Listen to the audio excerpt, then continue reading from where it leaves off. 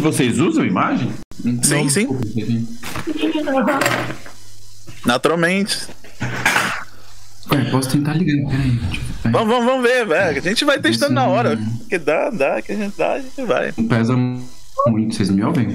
Opa, Consigo ouvir, tá tranquilo? Ô, ô, Marcelo, Marcelo, é, desativa a câmera aí.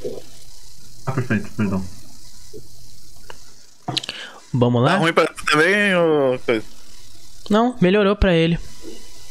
Beleza. É, Vamos lá então.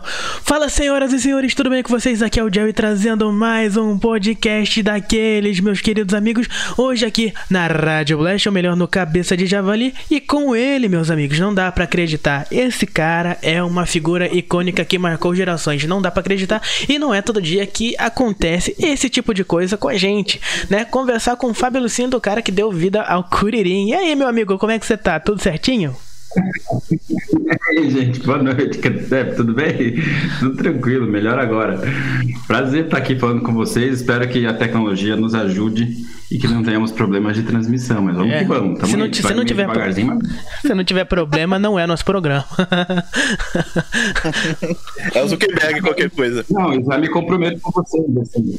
É, não, e é, é a minha internet, eu garanto, assim, me comprometo com vocês. Se cair, se não der certo, a gente remarca e faz outro dia quando eu estiver em São Paulo certinho, não, não tem problema. Sem problema. Cara, é muito engraçado conseguir ouvir a voz do, do Curirim, velho. A minha voz falando normal, assim, lembra mais do Curirim, né? É, o gente o fala que é o Ítigo. O Curirim mais adulto, assim, né?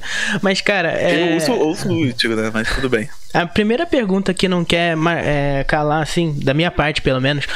Meu, como é que, como é que você se sente, assim, ah, marcando toda uma geração, tendo essa grande responsa de ter marcado Dragon Ball lá em meados de 90 e, enfim, é, até hoje, assim. Você era criança quando você fez o Curirim, né? Eu comecei a fazer o Curirim, eu tinha 13, 14 anos, é por aí. Uns 14, 15. Mas como é que você se sente agora tendo essa responsabilidade? 37. Caracas, não parece mesmo. Me sinto velho e me sinto. Cara, na verdade, eu vou tendo noção do tamanho disso conforme a gente vai conversando, assim, conforme eu participo de podcast, conforme as pessoas vão contando as experiências delas. E conforme o tempo vai passando, eu vou entendendo o tamanho disso, a grandiosidade disso. E é cada vez mais legal, assim, cada vez mais interessante. É... Uma coisa que tende também é só aumentar, né? A cada. Quanto mais o tempo passar, eu vou ter feito Dragon Ball há mais tempo, né? Então parece que é uma coisa que quanto mais eu continuar vivo e as pessoas também, só vai aumentar, só vai ficar mais potente.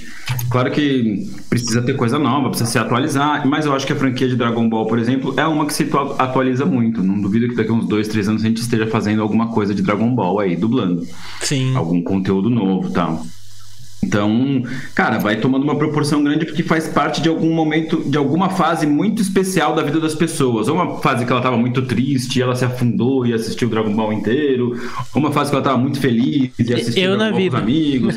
ou então era adolescência, então era a infância, ou então a- é um casal que gosta muito. Então, tem um lado afetivo muito forte. Pô, e aí, aí volto pra mim. Participar disso, de fato, é muito legal, assim, poder saber que você faz parte disso. Nunca foi uma coisa planejada, assim, nunca imaginamos que os animes iam tomar essa proporção e esse criar essa, essa esse nicho próprio, assim, autônomo, assim, ser uma coisa tão forte. E, putz, é incrível, assim, é cada vez mais legal. Não sei se eu respondi direito, mas é, é, é meio complicado, né? e, assim, e assim, meu, de todos os dubladores que a gente conversou até hoje, você é o que tem uma lista gigantesca de filmes. Não é possível, mano. É gigante a, li- a lista. E só aumenta a cada dia. Exato, agora eu tô mais, é, tô mais dirigindo do que dublando, então eu demoro mais pra ticar uma produção nova, assim. Quando você dubla, querendo ou não, às vezes você vai faz três, quatro produções diferentes no mesmo dia. Na direção você fica mais fixo, você fica a semana inteira fazendo a mesma produção, assim. Então na quantidade, talvez eu esteja trabalhando menos, mas na intensidade acaba sendo mais, assim, né? É uma resposta um pouco maior. Ô Fábio, Fábio. Mano, então, o legal de Dragon Ball é que é uma obra temporal, né? Ele nunca vai morrer e você vai marcar várias gerações. E uma pergunta que eu tenho pra te fazer é como é que foi se despedir do Ichigo? Como é que foi pra você? a despedida de um personagem tão incrível quanto. É, mas foi uma despedida meio capenga, assim, meio torta, porque a gente não dublou tudo, né? A, a série mesmo não tá feita, não tá animada, né, até o fim, acompanhando o mangá. E o que a gente dublou também, a gente parou em, em, na metade, assim, no episódio 169, alguma coisa assim, não, não chegamos a fazer tudo. Então foi bem estranho, porque não teve aviso prévio, ninguém avisou, olha, a gente não vai fazer tudo, parou, tal. Foi, tipo, numa sexta-feira gravei, vai, ah, então tá, até semana que vem, tal. E nunca mais. Tipo, ah, parou? Parou. Parou? Glitch? É, parou. O cliente pediu pra parar tal, e parou. Então, tipo, não tem muito mais justificativo. Foi bem esquisito dar uma, coisa, uma sensação de ficar pelo meio do caminho. Porque, O- cara, a gente acaba sendo. A gente só fica sabendo quando a gente para de receber escala mesmo. Assim, ah, não, então aquela série. acaba- Com Naruto aconteceu isso também, né? Uma série que a gente fez, fez, fez e parou na metade. One Piece é a mesma coisa, agora retomou, mas. Lá vou eu fazer a menininha agora. Sunny entre estrelas. Shed de Lan, Shed de São Lan muito- são entre estrelas, exato. A Dylan Cooper, era maravilhosa. Adorava essa série, tinha uma crush na Demi Lovato, vixe, era muito Maravilhosa. Eu morria de rir você fazendo o Chad, cara. Era engraçado pra cá. Era muito É legal. óbvio, né? Era muito engraçada a relação deles. Puta, mó da- eu gostava muito. E achava ela monstro, assim. Ela até hoje, meu, ela é incrível. A mina, aquela que mina canta demais, ela é monstro demais, assim. Achava ela, meu, muito foda. Firmou show no Rock in Rio, né, pro ano que vem, vai ter ela. Vai. Não, mas a curiosidade é que, é, inclusive, o anime parou do mesmo jeito. O anime, anime mesmo, claro, do, do Bleach, parou do nada porque a Jump falou: não Uhum. quero, não tô muito afim. Então, curioso, E aí né? Porque mexe falar, ah, não, agora vai voltar, vamos vamos retomar Bleach, vamos retomar que eu tava, eu ainda tava, era a época que eu tava morando em Portugal, e aí acabei não fazendo live action. Mas a grande maioria da série a gente acabou fazendo, a gente gravava na CBS, que é um estúdio que hoje em dia nem existe mais, assim. Uhum. E, cara, mas assim, é. Eu, quando eu te conheci, na verdade, foi uma época bem. Como é que eu vou dizer? Era uma época em que os dubladores eles não se mostravam muito, né? E eu só fui descobrir que era você quando eu vi o programa Pé na Rua. Como é que foi pra você esse programa fazer lá na TV Cultura? Ah, nossa, sim. Pô, na rua ele era apresentado por bom, um irmão meu, João Vitor Dalves. É o cara do Ratimbum, desde o começo do sempre que lá vem a história. Tipo, é ele Sim. que morde a maçã, ele é o Ivo lá da família. Do Ratimbum primeiro. Então eu conheci a gente quando a gente era garoto propaganda, fazia comercial, assim, com 7, 8 anos. Depois fomos fazer as nossas coisas, cada um para um lado. E depois, quando ele estava na TV Cultura, a gente se reencontrou porque eu apresentava um programa lá. Um programa chamado Cambalhota, era um programa infantil, assim, muito Sim, legal. eu lembro, eu lembro. E aí nessa época eu o João tava fazendo o pé na rua também, que era um programa ao vivo, diário, então, tipo, eu ia uma vez por semana, mas o João tava todo dia lá. E aí toda segunda-feira que eu ia gravar cambalhota, eu trombava ele e tal, a gente tava morando perto, no centro, a gente se aproximou demais, tanto que a gente conseguiu o irmão até hoje. E e a gente falou do, de dublagem no Pé na Rua? Nossa, eu nem lembro desse episódio. Não, não, não. Eles foram, não- eles foram no estúdio, né? É verdade. Vocês não chegaram Não. a falar de dublagem nesse, nesse, nesse programa, mas tinha uma moça que apresentava com você todo o programa e, tipo assim, depois que eu só fui ver Fábio Lucindo, acho que foi na Record que eu fui ver uma coisa, porque passava Pokémon direto na Record. Ah, tá, a Jéssica. Aí, sim, sim, tipo, aí eu te conheci lá, eu fiquei assim, caramba, cara. E assim, naquela época, tanto que a minha mãe falava assim, nossa, esse rapaz parece não gostar tanto de fazer o programa. Eu falei, porque ele não tá muito animado. Nossa, mas eu adorava. Eu tinha uma dificuldade, na verdade, porque, cara, entrevistar criança é muito difícil, assim. Eu não, não sabia que era um negócio tão complicado. E ficava meio inseguro, assim. Acho que ela pegava a minha insegurança mais do que o meu gostar, porque gostar eu adorava, tava lá felizão da vida. Mas tava meio falando, pô, será que eu tô conseguindo conversar direito com essas crianças e tal? Não, não sei se eu. Eu, eu tenho que meio forjar uma intimidade muito rápido, sabe? E criança É, é. não é muito assim, e eu também não sou assim. A gente É. chegava tipo uma hora da tarde, já almoçava, meio conhecia as crianças rapidinho, depois já botava as crianças no estúdio já ia apresentar, tipo, e aí você faz uma pergunta, ah, não, o que, que você achou? Não sei o que a criança fala, ah, legal. Fala, não, mas eu não sei o que, eu sei o que, assim. Então você você toca, não sei o que, como é que é? Sim, sabe? Você fica, puta, como é que É, é, faz pra render uma entrevista com uma criança? Eu acho que bastante, assim, deve- deve ser-. Deve ser você. Era só você fa- falar do Pikachu pra ele que a pessoa ficava feliz, né? Mas tipo, as crianças daquela idade não estavam vendo Pokémon, elas estavam vendo outras coisas, assim. Alvin Era os uma espíritos, molecadinha que não estaria. é, então. Ah, meus esquilos talvez, mas aí não é a minha voz, né? A minha voz É. acelerada, tem um efeito ali, eu não consigo reproduzir aquilo pra eles lá na hora. Mas aí também desvirtua o programa, né? Vira outra coisa. Ficou os moleques querendo falar disso, assim, nem, nem acho que foi muito ao caso, assim. A gente nunca misturou as coisas lá, não. Nos bastidores conversava tal, mas era até uma forma de acessá-las tal, isso rolava, mas na hora que liga a câmera tudo muda, né? Muito doido. E você foi. Você Mas fez. legal, né? você fez o Ash por quanto tempo do Pokémon? Acho que foram 16 anos, 18 temporadas. Sim, foram 18 temporadas. nossa. Mas, cara, Fiz Pokémon Coisa pra caramba, né? de 97 a 2000 e... é, acho que Pokémon deve ter acabado. Não, é que teve um, um que foi pra. 17? Que foi pra Cartoon Network. 2007. Aí até então era você, aí Não, depois. desculpa. que- aí até então era você que tava fazendo, depois o Charles Mano assumiu o, o, o, o Ash. Isso, a partir, da de... a partir de Sol e Lua, né? A partir da 18 se não me engano. É. Fiz o último filme que eu fiz foi o 18 filme, aí depois troca uma temporada, troca, ele até mudou, deu uma repaginada tal. Foi pro Rio de Janeiro, né? Foi. Mudou as vozes de todo mundo, assim. E assim, cara, agora a pergunta que não quer calar, que é uma, outra dúvida que eu tenho, assim, depois eu vou deixar a galera falar, porque tá todo mundo meio. cara, não acredito que você tá aqui, que realmente tá bem isso aqui. que eu sinto a galera.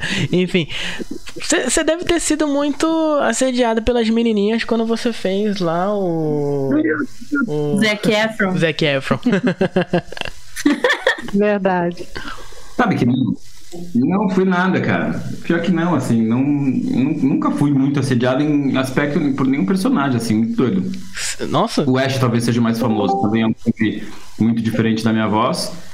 E por causa do Zac Efron, na época, não sei se quando eu tava fazendo, tipo, eu já devia ter uns 22, 23, e aí High School Musical era uma coisa pra meio pré-adolescente, adolescente, assim, meio não encontrava, não acessava, sabe? Eu já tava na faculdade e era uma coisa que o pessoal do colegial gostava, então nem... Os meus amigos pessoais já me conheciam há muito tempo, já sabiam que eu dublava, então não, não teve nada demais. Eu falei assim, ah, tá, aquele filme. Porque High School Musical foi uma crescente. A gente começou fazendo. O filme 1 um foi um filme normal, que era um filme só que ia pra TV. O segundo foi um grande sucesso. E o terceiro era um, um blockbuster pra cinema. Mas o primeiro era só mais um filme da Disney pra TV, assim, não ia nem ser tanto estouro. Ele estourou de fato porque juntou lá diversos fatores. E aí, hoje eu acho que eu sou mais.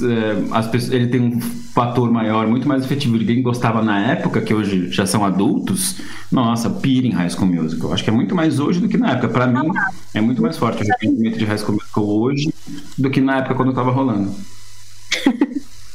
Sim. é, Sei, meteu, agora. meteu louco. Ele falou, não, porque eu já era mais velha. Eu falei, ah, gente, novíssima.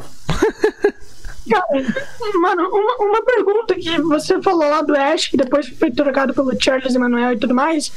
Pra você, como é que foi o sentimento de ser trocado depois de tanto tempo dublando Ash? Como é que foi? Você, você sentiu tristeza por conta que o Ash é um personagem que você dublou há muito tempo, né, mano?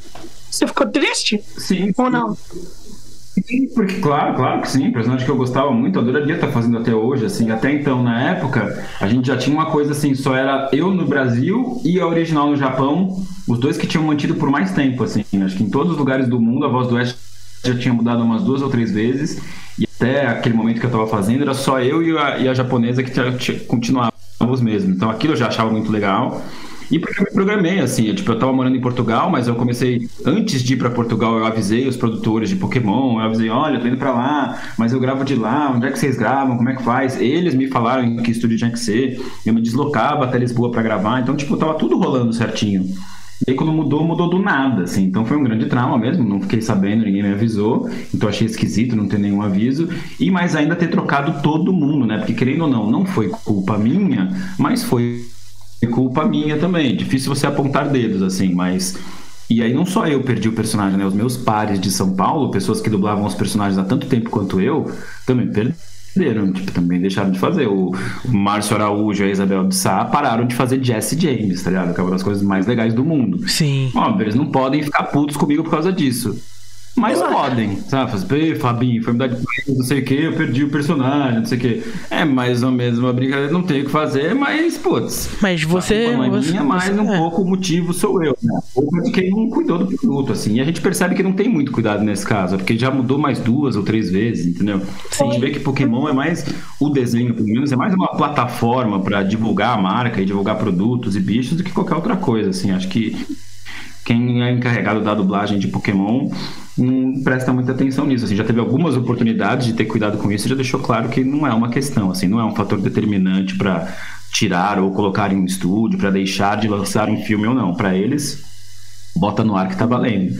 Então, tudo bem. Eu acho lamentável, mas se para eles funciona, se o retorno que eles querem tá vindo do mesmo jeito, é o que manda no final das contas. No fundo, no fundo, isso acaba sendo uma decisão mais é, econômica do que artística, né? Infelizmente. Verdade, verdade. Boa noite, pessoal. Eu cheguei antes tarde do Boa que noite, nunca, né? Boa noite. Ah, mano. Ah, Boa noite, Fábio. Eu tô muito feliz de estar falando contigo, cara. É, Acho que é um Tony Mel, né? Todo mundo. Foi o que eu, foi o que eu, te, foi o que eu te falei ontem, Fábio. É, tem uma pessoa lá que é muito fã do, do Ichigo e eu falei, cara, você é, vai fazer a felicidade É, eu- dela. Eu tô me, tô me segurando pra não tietar aqui, porque. né, Profissionalismo. Segura, galera, segura. Ó, Exato, é, eu tô de gravata. Só de gravata só. Ô, Fábio, uma pergunta. peraí, peraí. Pode fa... Peraí, Lorenzo. Pode, fa... pode falar, Marcelo. Pode falar rapidão. Ah, tá. Ah, não, só falando da. Aproveitando né, o gancho, né? Eu queria fazer uma pergunta sobre quais são os. Já que você tá falando do, do, do- do- de como o Dragon Ball marcou, né? Bleach, né? Eu queria saber ah, quais foram os personagens que mais te marcaram, então, assim. Que tu lembra assim que, que foi bastante importante e. Como é que eu vou dizer? Ah, que foi, foi mais importante pra tua carreira, assim, quais foram os personagens mais importantes?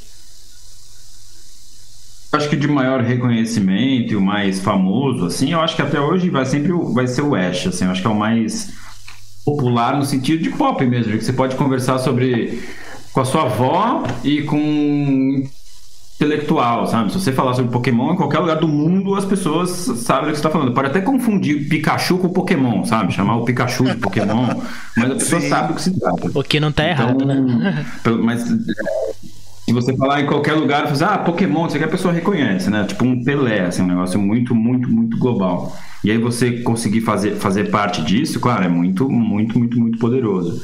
Mas pra minha vida particular, assim, enquanto personagem, identificação e tal, é, cara, gosto muito do Shinji de Evangelion, gosto muito mais recentemente do Legoshi de Beastars, Gosto muito do Arnold, de Rei Arnold, mas aí não é um anime, né? Mas é um cartoon e tal, mas acho um baita personagem interessante, gostei muito de fazer, fiquei muito feliz de fazer.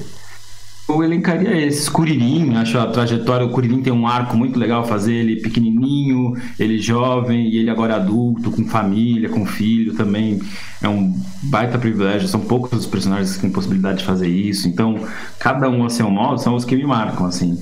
É, eu, eu destacaria esses, assim. São os que eu tenho tatuado no meu corpo, assim. Tem um, I- tem um, um Kuririn, tem um Shinji, tem um Legoshi, tem um Arnold.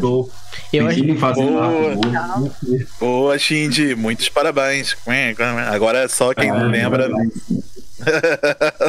Pô, só quem Tem lembra. ontem, né? O, o 3.1 mais ponto 1 mais ponto rebuild, não sei.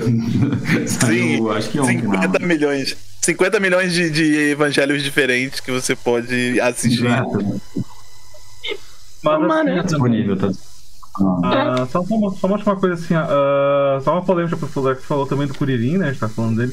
Uh, tu não acha que ele é meio. Como é que eu vou dizer? Uh... Morto, né? Porque ele só morre. É isso. Nossa! ah, não, o Krillin só morre e tal, mas poxa, se for acompanhar o começo do Dragon Ball ali, Dragon Ball Z, perdão, começo do Dragon... até o Dragon Ball mesmo, ele era bastante estrategista, né? Ele era um dos destaques ali, do pessoal ali. Tanto, então, eu acho que o pessoal não, não assistiu direito, assim, o começo, assim, do, do pra, pra dizer que, ah, o Kuririn só morre e tal, não, não faz muita coisa, assim, e tal eu acho que ele é um personagem extremamente importante ali, né? Então ele fez muita coisa crucial pra, pra saga. Não sei qual é a tua opinião com relação a isso. Sim, sim acho que no Dragon Ball o Dragon Ball, Dragon Ball, no inicial, ele é meio protagonista, né? Porque a história dele se formando lá com o Mestre Kami. No, eu acho que é porque o universo de Dragon Ball vai se expandindo a cada saga, né? E aí automaticamente vai aparecendo mais personagens e tal. Mas eu acho que é isso, ele não perde a importância. Ele se desloca, ele continua sendo o melhor amigo do Goku. Ele tem esse diferencial de, meu, ser humano no meio de aquele monte de Saiyajin, ET e os cambal. O cara se garante de carne e osso.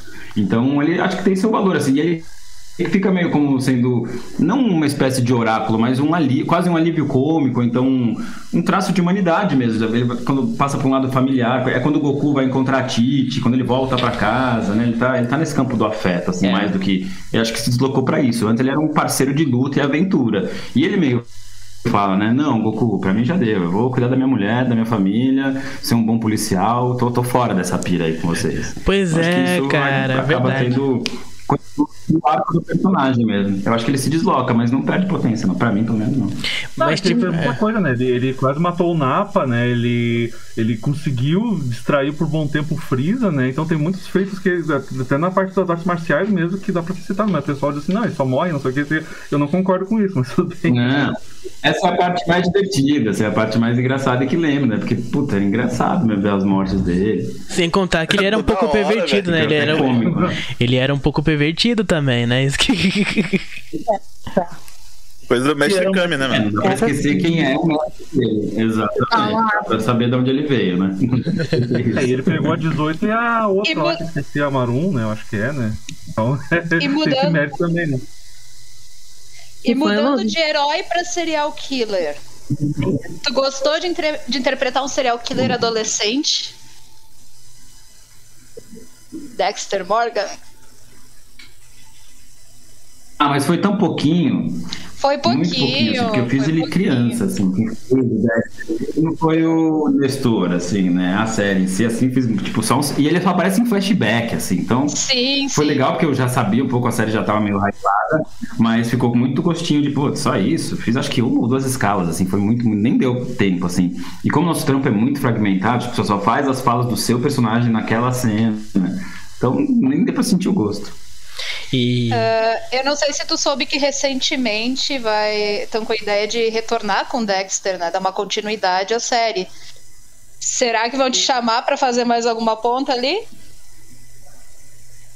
É, depende de se para que estúdio for, onde se for, se estiver em São Paulo, se for um estúdio que eu trabalho, se tiver algum personagem na minha faixa etária, ou se for até aquele mesmo ator e o diretor que pegou foi pesquisar, e se ele foi atrás disso, muitos fatores assim para afirmar. O que eu gostaria, é claro, mas acho que a única resposta que eu posso te dar é sobre o meu desejo, mas que previsão, nossa, nunca, jamais. Assim, não dá nem para saber. Uma incógnita multiplicada variantes imaginadas. Eu queria, primeiramente, cara, te agradecer, fazer um, um, um agradecimento para você, porque você realmente marcou minha infância de uma maneira bem fantástica, velho. Eu não sabia que você fez o Dog Funny, é, sabe? Não, tipo, eu não Incrível. sabia, não sabia que você fez o Dog Funny. E, é, tipo... eu fiz, mas talvez não, sei qual é a faixa etária de vocês, mas o Dog Funny tem duas vozes, assim. Quando ele é um produto na Nickelodeon, ele tem a voz do Sérgio Rufino, que é um baita ator de São Paulo, que faz também o Bob no Fantástico Mundo de Bob e tal.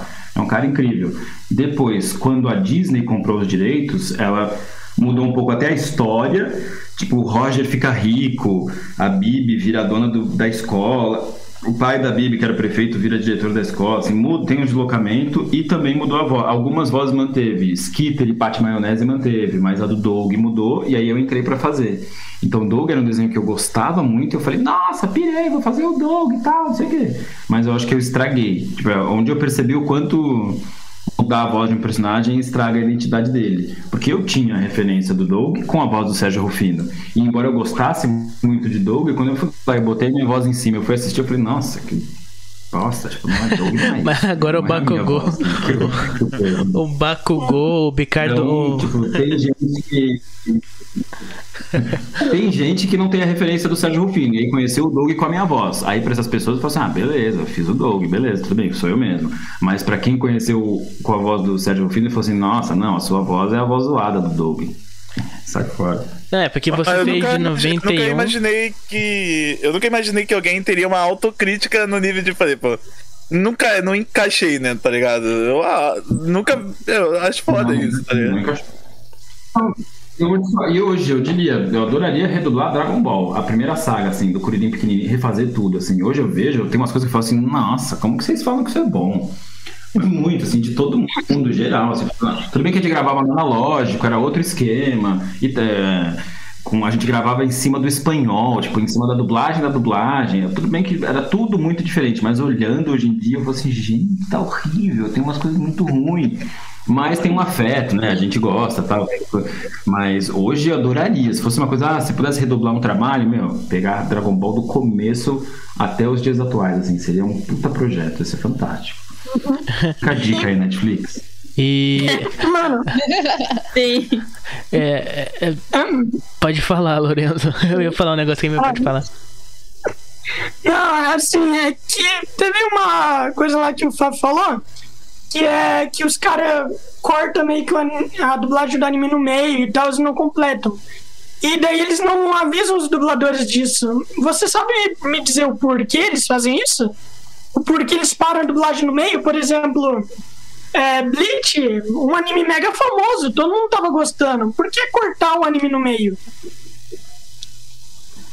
Eu acho que é porque talvez nem todo mundo estivesse gostando mesmo, assim. Eu acho que É. não deu o retorno esperado. Ele é um produto.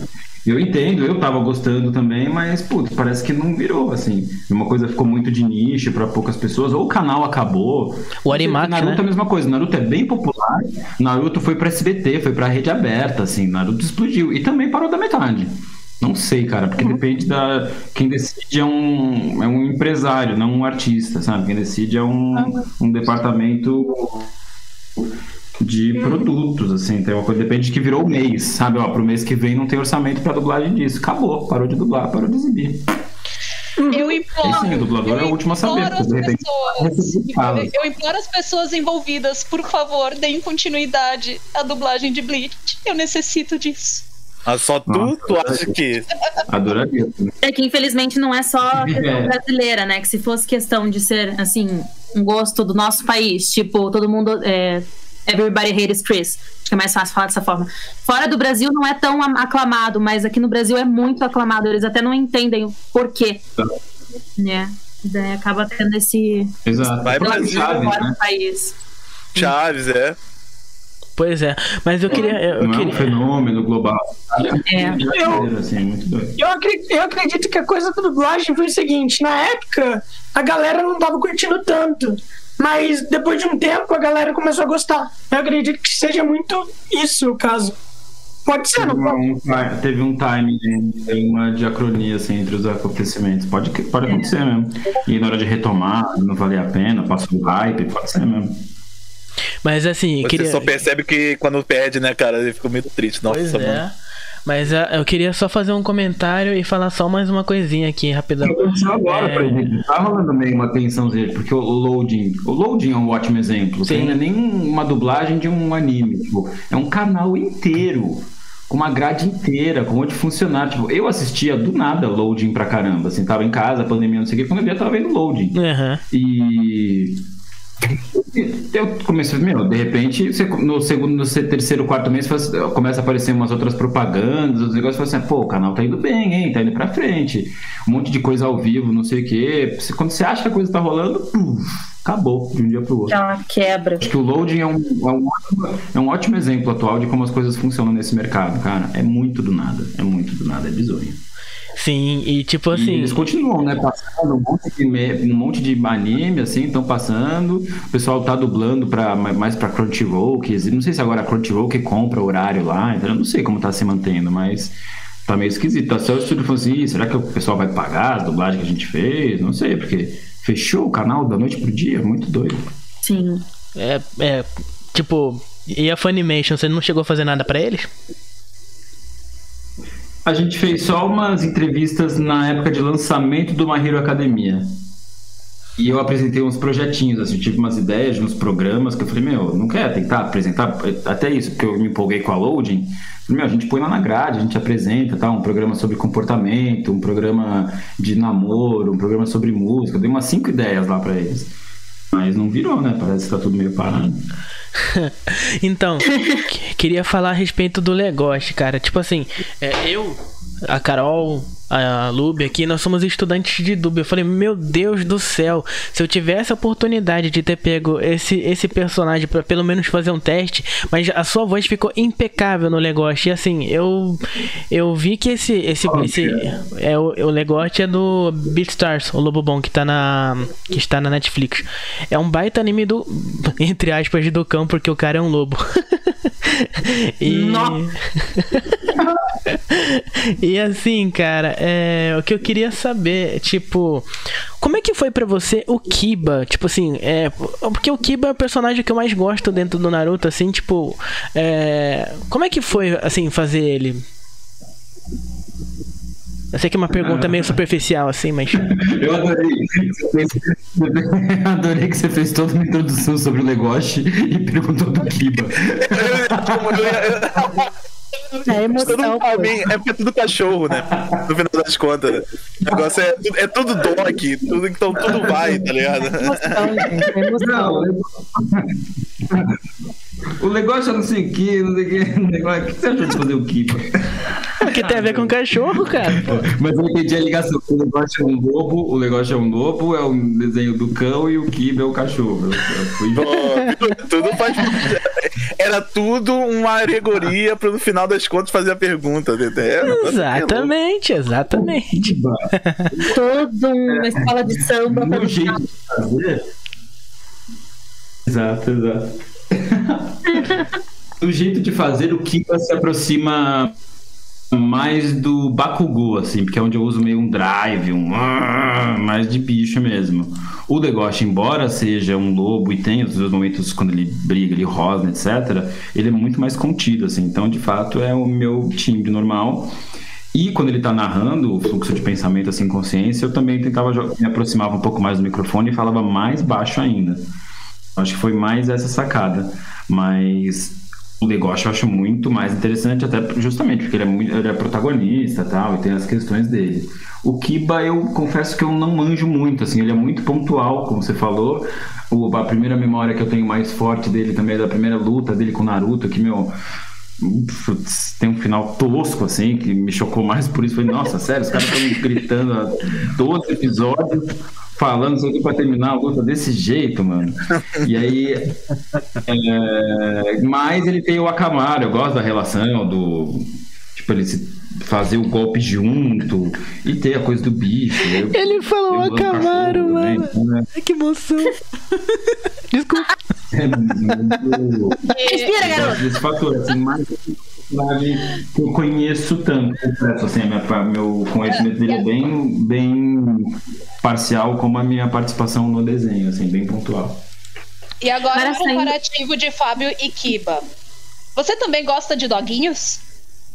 Sim, acabou de responder. Nossa, muito, não, a melhor coisa da minha vida é meu cachorro, sem sombra de. Pronto, aí, pô, Tá, let's expli- go, pô. tá explicado, tá explicado. Ele é o, ele é o próprio Kiba. ruim. Ele é o próprio Kiba. Ele é o, le- é o- ele é o cachorrão, desculpa. É, O cachorrão, ele meteu essa. é e o cara meteu o louco. O cara meteu o dogão. O dog, o hot dog. mas aí o, ca- o cara fez Tá. Bakugou. O cara fez Bakugou. mas. O cara fez Bakugou, fez o bicarbonato de ódio, o pergamoto de potássio. Foi muito engraçado, cara. Mas, tipo assim, agora a galera tá querendo mais saber de Ichigo, né? Meu, eu, o Ichigo, ele teve muitos momentos que nos proporcionou altas risadas. É, eu conversei um pouco com, com o Mauro Castro, né? Ele que fazia o Don Canonga. E assim, meu, a, acho que as tretas que você tinha com o, o Ichigo, né? Eu falo o Ichigo, eu falo você. Eu acho que as tretas que o Ichigo tinha com, com, com o pai dele eram as partes mais engraçadas, assim.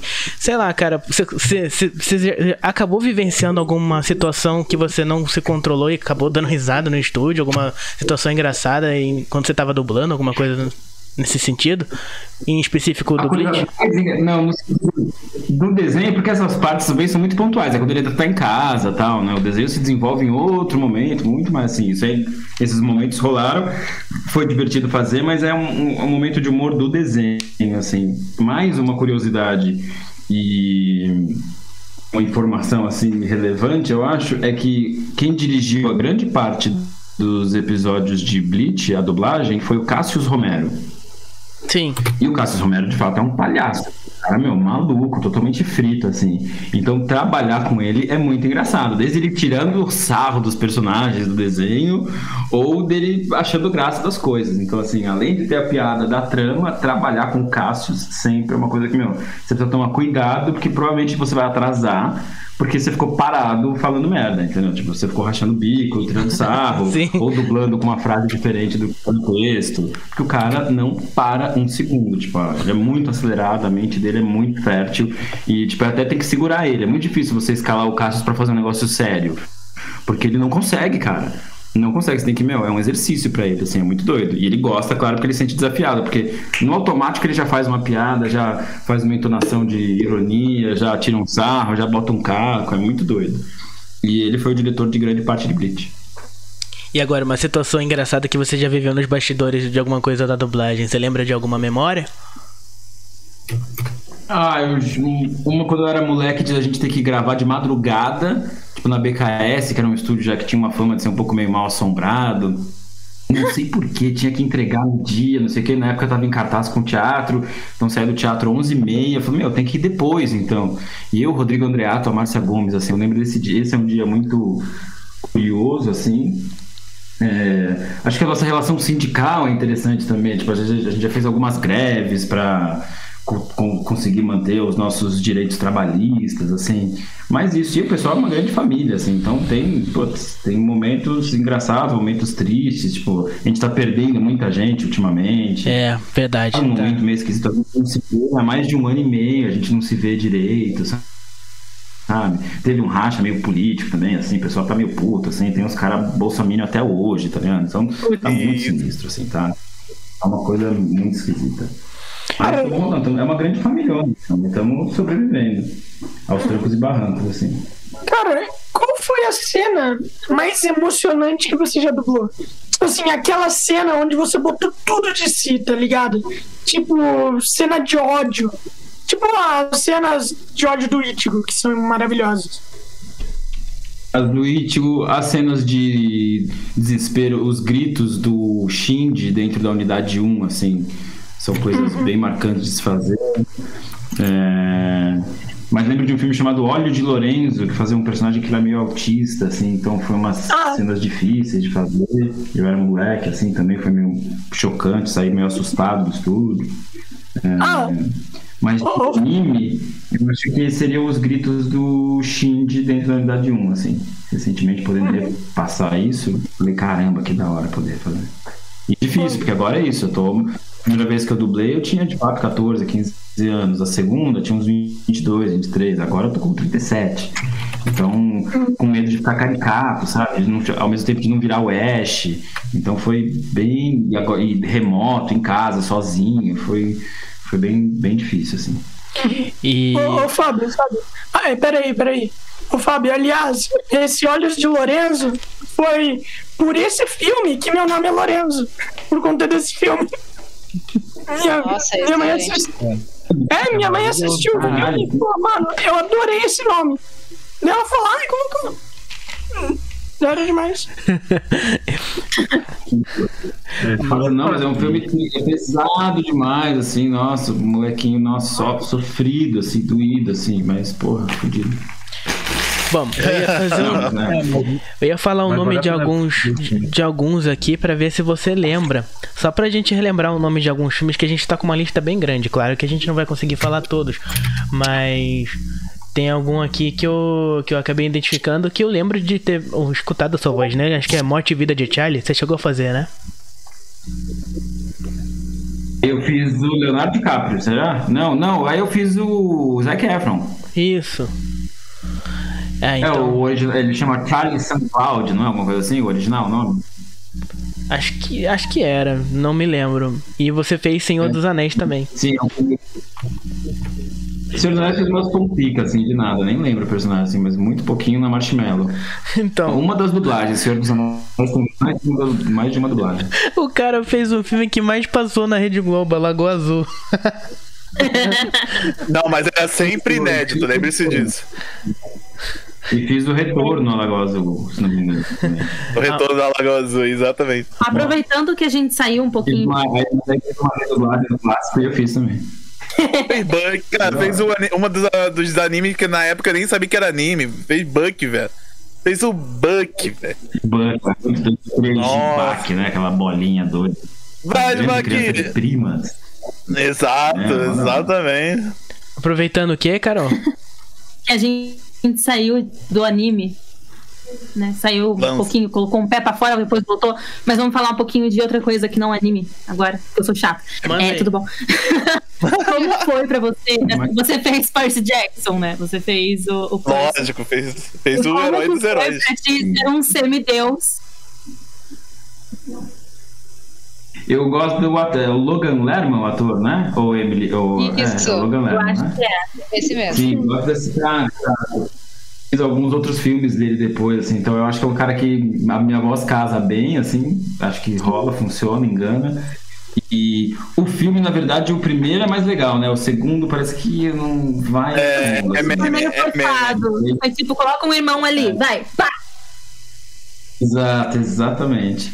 E na verdade isso, o primeiro tinha achava legal, fui na expectativa e tive elas é, satisfeitas, porém o segundo ficou um gosto esquisito e parece que marca tudo, né? Esquisito, a gente é meio cruel nesse aspecto, né? É, a gente meio esquece a parte boa e fica com a última impressão meio estranha, assim. Você lembra com carinho, mas uma puta, assim, um nariz meio curtinho, assim. Mas pô, é legal, né? É legal Meu. de qualquer forma. cara- Achei ruim fazer assim. Achei ruim, mas achei legal, daí achei ruim de novo. daí O cara, fe- o cara fez o Dalai Lama. Ele fez o Dalai Lama, mano, nos sete anos no Tibete. Nossa. É, fez o É Gasparzinho. uma pontica de nada. Fez o Gasparzinho, fez o Cliff Pantone, o Atila Criança, Nossa. o Atila Uno, né? Ah, Gente, minha primeira apaixonada pelo Gasparzinho. Tipo, coisa que ninguém tem nada pra, pra saber, mas minha primeira apaixonada pelo Gasparzinho. E assim, eu acho que o Você filme. Por causa da dublagem, detalhe. Muito também né, que tem crush no chorando, não é? Crush de desenho, assim. Tipo. Aí o cara fez outro filme de terror, que é um filme que eu gosto, inclusive in- é, é, eu vou fazer uma indicação. Assista esse filme que é muito bom. Eu achei bom, né? É de tirar o fôlego na primeira vez, 30 dias à noite, né? Mas outro que toda vez que eu escuto e, e, assim. É, eu, é o 17 outra vez. Aquela cena que você f- pratica o bullying com o cara que comete bullying e você joga quase a bola na testa do cara lá e ele fica. É porque é o tamanho do seu pintinho. Você soltou um negócio assim, eu fiquei, mano do céu, se eu fizesse isso na minha escola eu teria ferrado, cara. 17 outra vez foi muito legal. Seventeen Again, também Zac Efron, né? Sim. Mas Ashton Kutcher você chegou a fazer, né? Ouvi, desculpa. Ashton Kutcher você chegou a fazer ele algumas vezes, né? Eu acho que em um ou um filme só, que eu não vou me lembrar qual, um ou dois filmes.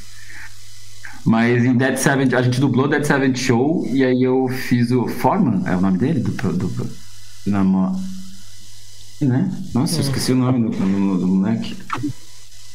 Agora de série, é, meu, se você, acho que, acho, eu acho, se eu não me engano, acho que você chegou a fazer alguma coisa em The Big Bang Theory, não?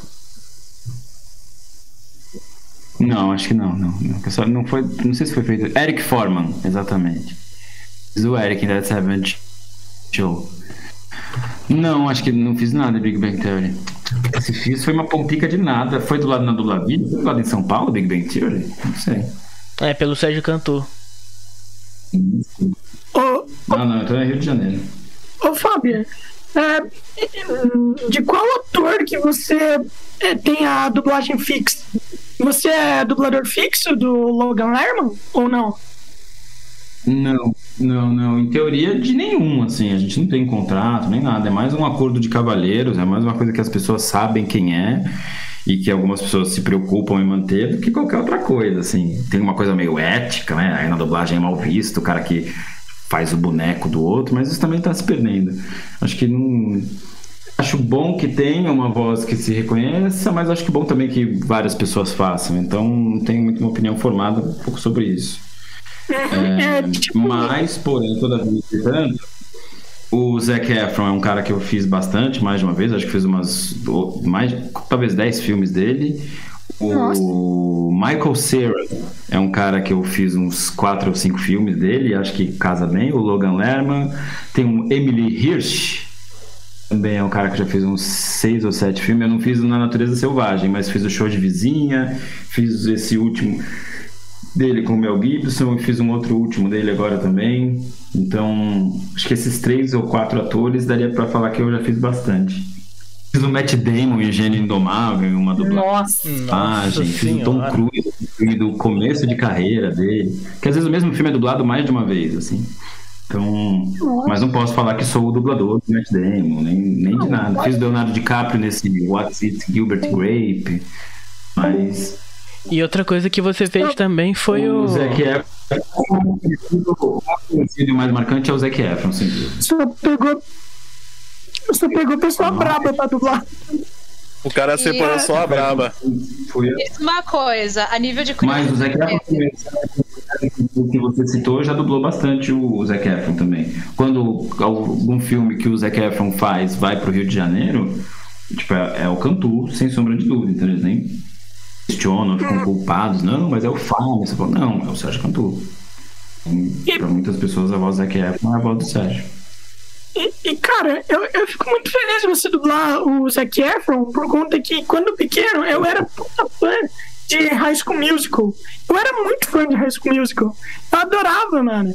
E, tipo, a dublagem de High School Musical é muito boa. Eu amo também a dublagem do Zac Efron que você faz. Pô, maravilhosa. é falou. Mas, vou te falar, se você ama mesmo High School Musical, você ama Olivia Rodrigo. Sim. Sim. Muito. Você nem conhece Olivia Rodrigo? A Olivia Rodrigo é que faz a personagem do Vanessa Hudgens, né? Não, Não, essa é não, então, não, não, Errou! não a é, Vanessa é. Hudgens é a atriz que faz parceria com o Zac ali, ela faz a Gabriela. A Olivia Rodrigo é uma cantora. E o Musical, a série, não tem nada a ver com os filmes, assim, ela é inspirada, Errou. ela só cita os filmes. Mas é outra coisa. E é maravilhosa, é melhor que os filmes. Se você for Sim. assistir hoje os filmes, você vai falar assim, nossa, esse filme é estranho. Mas essa série, High School Musical, a série, o musical, vou te falar que vale a pena. É muito boa. A Olivia. Da... Ela não, ela tá menininha. Tá... Hoje ela é uma criança, então na época ela tá mais criança ainda. Mas, mano, eles são gênios. Tem umas outras duas atrizes lá, as minas canta E elas são autoras das músicas. E a trama é legalzinha, os caras são bons. Assim. Quem tiver Disney A Disney corre pra ver que é muito bom. pra ver que vale Ah, muito a pena. Eu fiz a direção. Eu fiz a nessa série. Ah, que massa. E eu. Por causa do Zac Efron. Por causa do Zac Efron, o pessoal da TV Grupo falou: não, Flávio, vem, vem dirigir aqui o High School Musical. Eu acho que eles estavam achando também que ia ser a mesma coisa. Eu, quando peguei, achei, falei: putz, será que vai ter? Ficou essa expectativa: vai ter a Vanessa? Vai ter. Tipo, nada, ninguém. É que eles até, antes de lançar essa série, né, eles começaram a juntar o pessoal do filme, juntaram a Vanessa, juntaram o Zac, Não conseguiram, né? conseguiram, né? Mas teve essa Essa tentativa. série ficou claro, eles gravaram as duas temporadas de uma vez, porque é isso, agora a Olivia estourou, você não vai conseguir gravar mais nada com essa mina, você não fala nunca mais. Sério, é Vai demorar um a- a cantora número um dos Estados Unidos, assim, acabou. Ela tá arrebentando. Da hora, mano. Eu vou pegar pra ver a série. Eu... Faz tempo que eu tô querendo ver a série. cara, eu o cara citado nesse esse disco da Olivia Rodrigo, que é tudo sobre um namoro, tá? Um cara que foi babaca com ela, é o ator do High School Musical, assim, fofoca de última hora. É ele mesmo. A droga é essa. Segura essa, Brasilzão. Fofoca. Tipo um sociopata. É cantor, o cara é um monstro. O cara canta bem, o cara é gato, o cara dança, o cara faz tudo. Mas, né, é um idiota. Mas Pois A é. vida tem dessas, infelizmente. triste, né? Tipo, lixo. Mas, Ah, agora tá, pra tá lá chorando. mas, cara, uma outra coisa, duas coisas que eu acabei lembrando. Uma, uma que não tem nada a ver uma coisa com a outra foi uma foi Gotham, que você fez o Rogério Valesca, o Cameron é, Monag Monaghan, né? A primeira voz. Hum, E. esse, esse personagem eu queria ter feito até o fim. Pois é. Mas eu tava indo pra Portugal, exatamente. Eu tipo, fiz dois, três episódios e fui embora. E aí você fez um mundo redondo de Oli. Eu acho que foi você. Um desenho. Virou. É um desenho, não é? Eu acho que foi você. Sim, sim, é um desenho. É que eu vi essa voz. Você vai ver o mundo redondo de Oli. Eu acho que foi você que fez. Você fez. Acho que foi você que Um fez. sim. desenho da Nickelodeon, não é? Sim. Ah, sim, sim. Eu e o Rodrigo André. Esse desenho é muito legal mesmo. Muito legal mesmo. Muito estraquinado, assim, deles. Eles moram. Ah, não, isso não é. Não, eu tô confundindo com outro que é de um hotel Não, assustador. Do Oli. É. Não, então não tô lembrando desse olho, não. Ele não tem uma se- cabeça redonda e, tipo, os amiguinhos são quadrados, redondos, são todos robozinhos, assim, bem Tipo, bonitinho. é. Basicamente isso. E aí. Parece o pessoal que mora aqui perto de casa, mano. Todo mundo é quadrado e redondo, nunca. Não, é um, não parece ser humano. Todo mundo parece um boneco mobil, mano.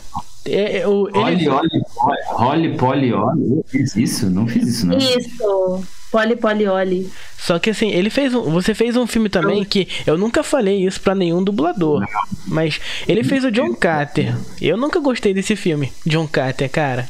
Nossa.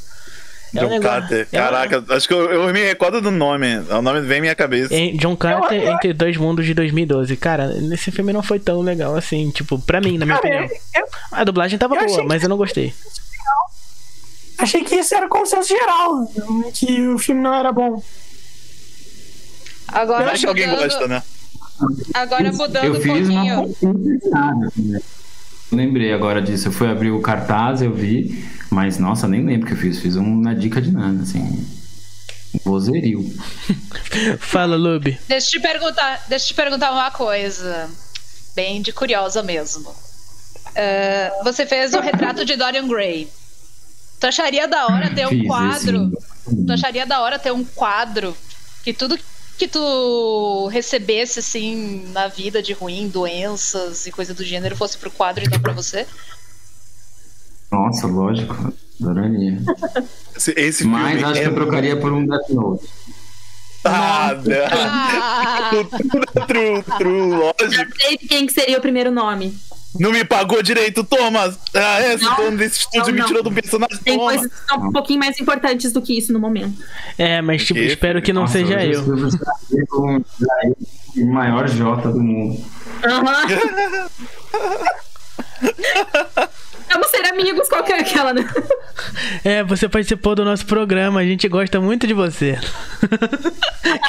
Aham, calma aí. Aí bota. Mas o. Bom, nossa, Death Note é muito bom, mano. Ele é muito bom dublado, legendado. Não importa, mano, não importa. Death Note é muito bom, é muito hype. Seja só o anime, porque a série a gente tá coisa. Ah, então, Netflix não dá pra. Não, não- não dá. Netflix a gente só ignora, né, Netflix? Big beijo pra você, mas. Saudades do. É, mas pensa que a Netflix pode patrocinar a gente, então não falamos isso Fazem não. tudo muito, cara. True. Não dá pra acertar sempre, né? Mas eles fazem tudo muito. São bem loucos. assim. É, Não dá um- pra acertar sempre, só 30%. Mas assim, Netflix, te amo, tá? Você. Tá? Nós- Patrocina a gente. Patrocina a gente, hein? tudo. Patrocina nós aí. né? Nenhuma farpa, farpa é só pra- pela piada. Entendeu? Aqui a gente prioriza o humor, pelo amor de Deus. Mas falando agora de outra. Eu vou falar, ela tá puxando, a gente, todo mundo vai puxando, a gente vai puxando.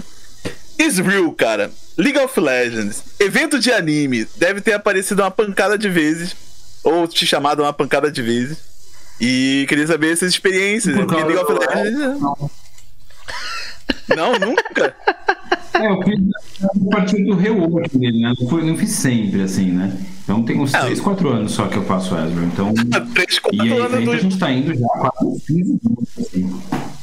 É, mas Os assim. eventos é... rolam independente. Pré-pandemia, tô parado, mas eu não ia muito, não. Eu fazia uns. Um a hum. cada dois, três meses. Nunca fui com sangue nos olhos, assim, de ir atrás com um empresário, um cara indo pra trás de evento pra fazer. Não, tipo, quando rola eu vou. Não não é uma coisa muito. Eu gosto, acho legal pra caralho, acho uma puta experiência. Tipo, fui pra lugares que eu nunca mais fui pra Porto Velho, tá ligado? Fui, fui pra Brasília, Manaus, fui pra, meu. Quase todas as capitais, cara. Acho que eu só não fui pro Acre e pra Macapá. Pro Amapá, o resto, meu, eu fiz tudo. E por causa de evento de anime. Então, meu, caralho, nunca, lugares que eu nunca conheceria, sabe? Então, Sim. e pessoas, assim ficar, conversar com a galera. Tem sempre o momento da palestra, mas depois tem, meu, eu consigo trocar ideia, assim. O fato da dublagem também eu gosto, porque eu consigo transitar. Muita gente não conhece meu rosto tal, então eu consigo de fato frequentar o evento, ver as coisas, comprar umas paradas, conversar com as pessoas. Eu acho legal pra caralho. Mas agora com a pandemia parou tudo, né? Você já teve algum momento na dublagem que você teve que. eventos de animes. Pode falar. Não vi. E falando em eventos de animes, Uh, você, além de dublar os animes, você gosta de sentar em algum momento assistir algum anime? Qual é o teu anime predileto? Meu anime predileto, sem sombra de dúvidas, é Evangelion. O último que eu sentei para assistir a segunda temporada inteira de Beastars. Tem uns 15 dias, parei e vi tudo, assim. Mas. E assisti também. Mas não, a segunda temporada não me pegou, muito doido. É o. Ai, como é que é o nome das crianças que eles moram numa fazenda de carne? É. Isso, Promise Neverland. Isso, Promise Neverland. Nossa, achei muito da hora. Mas aí a segunda temporada tinha tudo e não gostei. Não gostei. Nossa, um nem não como. fui pra gostar. Vocês vão até meio me julgar, mas eu fui pra gostar e não gostei. Attack on Titan, cara. Não, não te julgo, não. Cara. Falando eu também não, não te julgo, não. Eu também não, não, não, Eu não curti também. Não te julgo. Não me pegou, cara. Não me pegou. E tu assistiu? É, mais o Promise Neverland. Achei o primeiro monte muito foda. E aí, ah, um outro. O outro. outro. É, um de corrida, Running with the Wind, que é um. Meu, dos caras gostam de correr, assim. Um de patinação, ah, que é muito doido. Sim, sim, sim. Tipo Yuri no Ice, esses bagulho assim. E o Ice, esse é muito foda. É, esse é anime de esporte. O de vôlei eu não vi ainda. Mas anime de esporte eu gosto pra caralho. Assim, quando tem umas coisas. Além do Star. Esse movimento de circo fudido, assim, é muito doido. Eu achei Sim, da agora também. Isso é muito maneiro, mano. Tem um que é Kabaddi, cara, que é um, um esporte indiano, acho que é da Índia, por ali, pra aquela terra ali, Mediterrâneo, que é muito da hora também. Eu tô doido que eles dublem esse anime. E, mano, o que tem de anime bom. Mano, esporte é o bagulho. É, anime de esporte é maneiro. Respiram nessa coisa do movimento, exato. Eles mandam muito. Assim, de futebol nunca conseguiu fazer muito direito, né? Mas. É, teve super campeões, né? Com é. o cara vindo aqui pra jogar no, no São ah, Paulo. Então, é, não sei vocês, vocês estão com... poética super campeões. Não sei vocês, mas vocês estão acompanhando, vocês estão acompanhando aí as Olimpíadas? Como é que tá? Eu não, cara, nem Nossa, sei como é que é. Eu não. Acompanhei. Vai iniciar as Paralimpíadas. Não, Paralimpíada é monstro demais, exato. Nossa, deve ser é monstro, monstro demais. Você devia ter mais atenção ainda, porque os caras fazer é. tudo que todo mundo é. faz com uma coisa menos, assim, com uma coisa faltando, com uma coisa menor, com uma coisa. Mano, devia ser muito mais foda, é muito mais foda. Paralimpíada é muito, é muito mais foda. Paralimpíada. Eu faça aí que você faz, só que você as Faça aí que você faz, só que você quer. Também curto mais as Paralimpíadas. Eu geralmente eu, eu acompanho mais as Paralimpíadas do que as Olimpíadas em si. Sim. E o Brasil arrebenta, né? As Paralimpíadas. Sempre arrebenta. Sempre. Exato. Agora, esse ano eu espero que sim também. Duas perguntinhas que acabaram de me, me ocorrer aqui, eh, Fábio. Você já teve algum momento na, na, na sua carreira da dublagem que você teve que assim. Pô, meu, tem que parar agora porque, meu Deus, tipo, não- né, na cena, essa cena foi tensa, você se emocionou, você precisou de uma água, você já vivenciou algum, um- alguma coisa nesse sentido? É quase sempre. Sempre que tem cena de emocionante, eu, eu vou junto, assim, é engraçado, sempre me pega. Mas a gente tá em ambiente, a gente tá pra isso, então, meu, gente- o ideal, se você se emocionar na primeira, é lindo.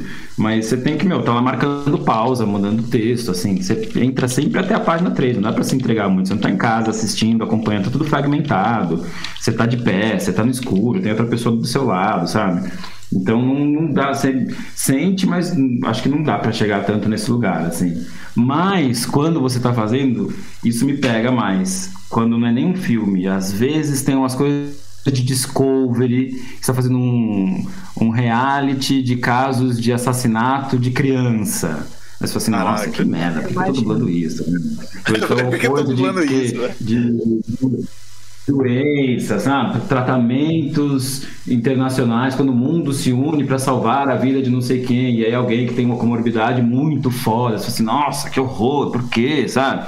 Aí você tem que fazer dubla, entendeu? Então, nesses casos, pega mais do que, tipo, ai, uma cena muito marcante. Quando é meio vida real mesmo, e é acontecendo com gente, assim, tipo, quando é dra- dramatização de assassinatos, de Pesado. feminicídios, assim, não, meu, que escroto, é, só, meu, por quê? E aí você fala, meu, por que, que o cara faz um programa disso, tá ligado? Vai falar de coisa boa, não fica, meu, falando, tipo, porra, que bosta, sabe? E aí me pega muito. E E. esses programas de investigação, nossa, é mó, nossa, uma coisa. Acho muito baixo astral, muito baixo astral. Sim, agora a outra pergunta que, que ficou faltando, desculpa, Lorenzo, é, que ficou faltando é: você é do, do- dos games? Você gosta de jogar, cara? Droga, ele fez a mesma coisa que eu. É, a gente já roubou, cara. Ele, na verdade, tá lendo sua mente. É um paradoxo. Eu gosto, mas eu sou ruim. Somos Nós estamos apertando a mão agora. Dá uns gritos depois. Só é bom quem é pró, gente. Videogame. Gente, Quem joga casualmente não é bom, não, poxa. Essa é a verdade. Porque Essa é a aí tipo, você realidade. nunca gosta muito daquilo que você não é bom, assim. E aí, não, entendeu? Tipo, tive recentemente o Fortnite entrou na minha vida e eu tive uns momentos de noia e adorei, assim, de entrar em grupo. A gente fez um grupo. Meu, eu jogava com uns 4, 5, então jogar sozinho, às vezes, fazer uma, uma batalhinha, assim, já ganhei umas Battle Royale e tal. Mas não sou nóia, assim, às vezes jogo um negócio de corrida de vez em quando. E gosto muito de Mario Kart, assim. Mario Kart eu Opa! nunca perdi na vida. Ah, dá, Ah, dá, não, dá, manda, não. cara, dá um abraço aqui, dá um abraço aqui, cara. É, é isso aí. Não, É isso aí. Sabe por quê, mano? Porque aqui, a gente, aqui, aqui nesse programa nós temos uma rixa. Sou filho. Né, cara? Aqui nesse programa nós temos uma rixa. O senhor. que, eu tô falando, que você falou que você gosta de Mario Kart, aqui no programa nós temos uma rixa e a gente fala assim, pô, eu sou fãzaço de Mario, tenho muita coleção de Mario aqui e tal, pá. E o senhor Lasnuts, que está aqui presente, ele detesta a Nintendo. E ele fala, não, porque a Nintendo é uma bosta, não sei o que, então ele, não, não, porque. E aí. Nintendo, patrocina a gente é, também. é, Vê, olha, olha, eu posso te odiar, mas eu adoro seu dinheiro. Não, não, não. Você não patrocina lá, patrocina a gente, tá? E é isso. É, mas eu adoro seu dinheiro. Que politicamente incorreto, cara. Ô, Fábio, ô, Fábio, você, você, você falou que também dirige, né? Você falou, nossa, lá no começo que também dirige. E você começou a dirigir com, é, faz quanto tempo já que você começou a dirigir? Comecei a dirigir dublagem tem 14, do- 14 anos, 13 anos. Caramba. Comecei a dirigir dublagem tinha uns 23. Droga, eu ia perguntar como ele tirou a carteira de motorista dele. Mas aí você me pergunta, era da dublagem. Droga. Cara, Lá de carro eu passei de primeira, assim. Uma coisa que eu mais dirige motorista, mano do céu.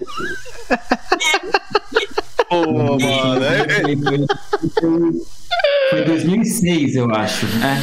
2006, porque eu tenho um papel do Rodrigo Andreato me dando. Que, que, que ano a gente tá? 2021? Isso. A gente tá 2006, Nossa. tanto tempo confinado que não lembra mais a data, mas tá, tá assim nesse nível. 15 anos. Foi 2006, eu acho que foi 15 anos, cara. E olha, uma das primeiras coisas que eu, que eu dirigi foi anime. Um anime muito doido chamado Conde de. É uma adaptação do Conde de Monte Cristo, Gankutsu. Vale a pena ir atrás, meu. Eu escalei o, o Paulo Celestino fazendo protagonista, muito do... Nossa, precisava achar esse anime. E depois um outro anime chamado Jack Black, que é sobre um médico. Adorava esse um anime. House, vai, um médico. Que. Então, foi a segunda produção que eu dirigi na minha vida, assim. Precisa ver a época disso, a data disso. Que era o Felipe Grinan, né? Naquele Animax. era o- Exatamente, Felipe Grinan tinha acabado de mudar pra São Paulo. Foi o primeiro trabalho que ele fez em São Paulo. É o Felipe gravava no Grinan. analógico ainda. e tal. E E esse- tinha, nessa época eu tava começando a dirigir. tinha Kinoko também, que eu não lembro quem fazia a voz da Kinoko. Era. É, é Pinocchio e a Andressa André. Isso. Nossa, Da hora, cara. mano. E, como, é- e como que foi a sua primeira vez dirigindo? Você sentiu alguma tensão, alguma coisa assim? Já que antes você só dublava, né? E- e Isso, claro. Sim, sim, eu era novo e tal. Eu já dublava há bastante tempo, mas tem uma questão de você dirigir atores mais velhos, né? A maioria do elenco que eu tava dirigindo era mais velho que eu. Então, sim, eu não tive grandes problemas, assim, só tive com um dublador, assim, com um cara mais velho.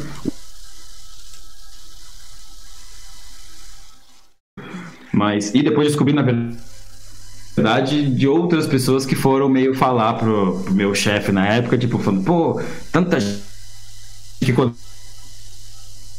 Eita. quando encontrou, falou, pô, Fabinho, parabéns, hein, tá dirigindo, não sei o quê. Então, foi uma época, caiu algumas máscaras pra mim nessa época do meio, assim, não era tipo.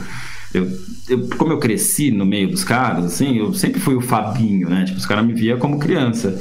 E aí algumas pessoas, quando eu comecei a dirigir, passaram a me ver um pouco como uma ameaça, porque elas queriam estar dirigindo, e eu comecei na Alamo, então dirigir na Alamo era uma coisa muito legal, assim, tinha, tinha um status também. Então era um, era um cargo cobiçado. Essa aqui é a parte triste da dublagem, né? Então eu também já descobri, falei, olha, então. É, eu virei adulto, né? Falei, olha, então eu virei adulto. Tá bom, a galera tá no jogo aí, vambora, então beleza. Sim, mano. É, por, por exemplo, eu, eu já conversei né, com, com alguns diretores e tudo mais, e eu conversei com o André Rinaldi, e ele falou que quando ele se tornou diretor, um monte de gente, é, ele tinha um medo, né, de um monte de gente pensar, cara, olha só, é, a maioria me via como dublador, vocês vão botar um dublador pra dirigir? Daí ele tinha esse medo, sabe, das pessoas verem ele como como não capacitado para dirigir. Você também Ah, teve esse medo? Ou não?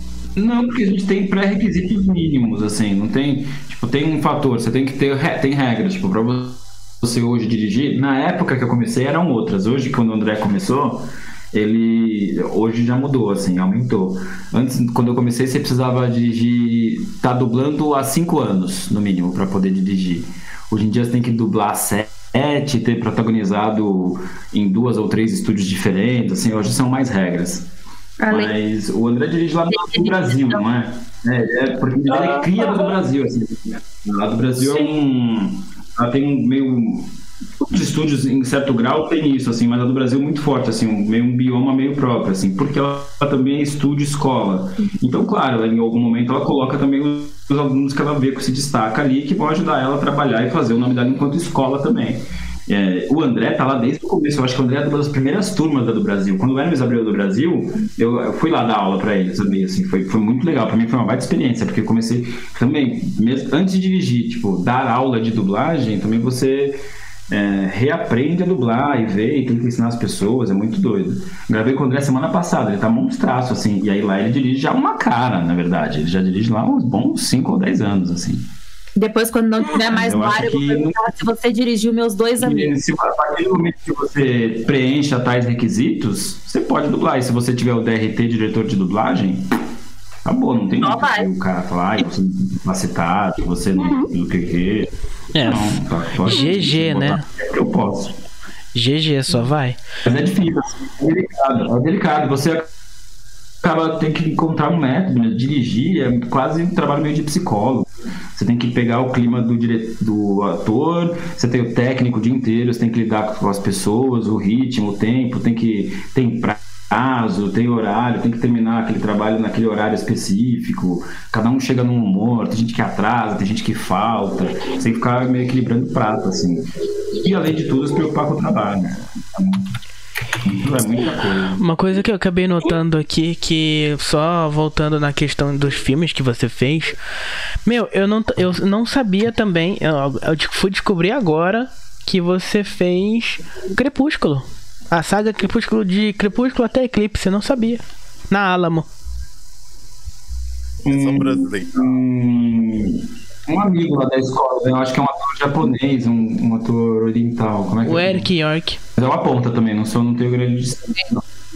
É, porque eu fiz ele num outro também, num, num filme de 18 anos, de adolescente, assim, que é mais engraçado que ele fica breaco o filme inteiro. Finalmente E aí ele aparece 18, nesse- no Crepúsculo em também. 2013. É o Jeff Chang.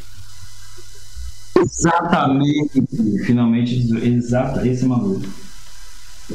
Tanto que esse filme, sou finalmente 18, foi o filme que colocaram aqui em casa quando eu fiz 18. Nossa, Nossa, Mas- atualizando. O finalmente 18 e o finalmente 18 e o 17 de novo, né? Você tem que lembrar.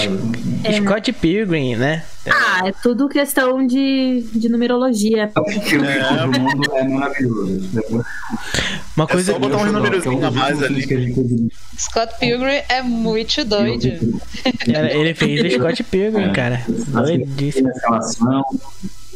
Adorei, adorei fazer esse filme, é maravilhoso. assim. Ô, Fábio, uma, uma pergunta que eu, eu acabei de ter agora, mas eu acho que é muito boa. Os, os atores que fazem comédia são os tipos de atores mais complicados de se dublar? Por conta que você tem que pegar o tipo de comédia deles, né? Ou não? Sim e não, depende. Eu vou responder de uma, acho que de uma outra forma. Eu diria que uma das coisas mais difíceis de se dublar é um show de stand-up. Nossa, Mas sim. não pela performance do cara. Não pela performance do cara enquanto bilabial. Isso sim, isso vai ser muito difícil, porque é um monólogo de 40 minutos, só um cara falando, assim, então vai ser difícil de pegar as pausas, as respirações, tal, não sei o quê. Mas mais sobre o sentido do que o cara tá falando, porque o humor, ele se dá muitas vezes por jogo de palavra, por significados comuns da língua, por figuras de linguagem particulares, piada interna, intrasocial, e você adaptar isso é muito difícil, ainda mais para ser engraçado. Tipo, não basta adaptar o sentido, tem que adaptar o sentido de forma anedótica. Então, é um trabalho muito, mais é mais um trabalho de pré-produção do que de dublagem. Então, coitado do diretor desse filme, do cara que for dirigir isso. Mas eu nunca vi também stand-up dublado. Ao mesmo tempo, dá pra você fazer, fechar o olho, botar o cabresto e traduzir ao pé da letra e simplesmente só encaixar aquelas palavras ali. Mas eu acho meio porco, acho que seria meio esquisitão. Se caísse na minha mão, se eu acho que, tipo, eu ia perder algumas noites de sono pra tentar adaptar e acho que ia fracassar miseravelmente na tentativa de muitas dessas adaptações. Mas eu acho que é o que deveria se fazer, assim, deve ser uma das coisas mais difíceis. Se eu tivesse que classificar a coisa mais difícil de se dublar com perfeição do que eu entendo que é a dublagem, seria um show de stand-up, de qualquer Obrigado. que seja. Obrigado pela dica, eu vou fazer esse exercício. Pode ser. Porque se- se- Mas entendeu que não é só traduzir, é adaptar e fazer caber e ser engraçado. Sim. Puta, é difícil pra caramba. E. Pois é, mas, mano, tipo, é, é muito doido, assim. Eu tava ouvindo a sua voz e. e- e- é- é- eu não sei, mano. Tipo assim, é, é uma oportunidade que não acontece quase todo dia. Eu vivo repetindo isso. e, e assim, você fez até Vovozona também, cara. Nossa senhora. Nossa, a vovózona é um clássico dos clássicos dos clássicos dos clássicos. Não, claro. Fez a Hora do Rango, Uma Noite em Fúria, Alex Rider contra o Tempo. É, nossa, cara, você fez bastante coisa. E assim, o que é mais legal é que assim, eu ve, eu Jerry, eu Jerry vejo assim. É, assim, se o anime, se o anime é top, vai ter, vai ter a voz do do Fábio Lucindo ali. Não sei porquê, mas eu sempre vou encontrar sua voz em, em qualquer anime que eu assisto, cara. É, in- é incrível. Geralmente Nossa, toda eu- Sim, sempre mesmo. Mas eu gosto, é, a possibilidade, eu tô entendendo que vai ser, porque cada vez tem mais conteúdo, né? Tem os conteúdos já nativos sempre que o Japão sempre produziu, que é muito conteúdo, a gente só não tinha acesso. E a Netflix e a Amazon também estão com produções originais em formato de anime, ou seja, o conteúdo expandiu muito, tem muita coisa para fazer. Então, a tendência é que a gente faça mesmo cada vez mais, assim, espero fazer cada vez mais, que bom. É, a du- a dublagem do, de animes no Brasil, ela aumentou bastante a, a frequência de Agora tem animes. Tudo. Não, tem tudo, muito. Cada streaming tá entupindo a sua plataforma de conteúdo, assim. Então tá tendo dublagem, redublagem, tredublagem. Os caras, meu, tá fazendo muita coisa. Tem o quê? Tem o HBO, tem, o da, tem a Disney, tem a Netflix. Amazon a Globo Prime. faz alguma coisa, tem o Lu também. Apple TV. Muita coisa, assim. Todo mundo produzindo conteúdo, assim. Então, é ótimo, assim. Então, é. Ca- Cara, uma pergunta. É, na sua opinião, o porquê o mercado de anime tá crescendo bastante? Você tem alguma opinião sobre isso? Do porquê está crescendo muito? Por que as pessoas gostam tanto? Porque, cara, eu acho que é uma questão de nicho, assim, eu acho que não é tão popular, eu acho que a gente tá dentro de uma bolha. É, minha mãe não sabe, não sabe. Minha mãe só sabe de Pokémon. seja, Minha mãe não. E é, pra mim é um sabe? São pessoas que não, não sabem. Minha mãe não sabe do loading, sabe? E são, pra falar que uma coisa tá sucesso, assim, estourando, eu acho que precisava acessar essas pessoas. É, acho que não, não é o caso. Mas dentro do nicho, sim, existe um aquecimento absurdo. Por quê? Porque as pessoas estão trancadas em casa consumindo que nem doido. Tipo, o cara fica um ano fazendo uma série, você assiste ali um dia. Os caras ficam três, quatro anos pra fazer a série, um ano, só que no, no dia que ela lança, você assistiu ela inteira. Então, meu, a- as e as pessoas estão em casa, consumindo loucamente, saciadas e querendo cada dia uma série nova, uma coisa nova. Entretenha-me. É sobre você manter as pessoas paradas na frente de uma tela.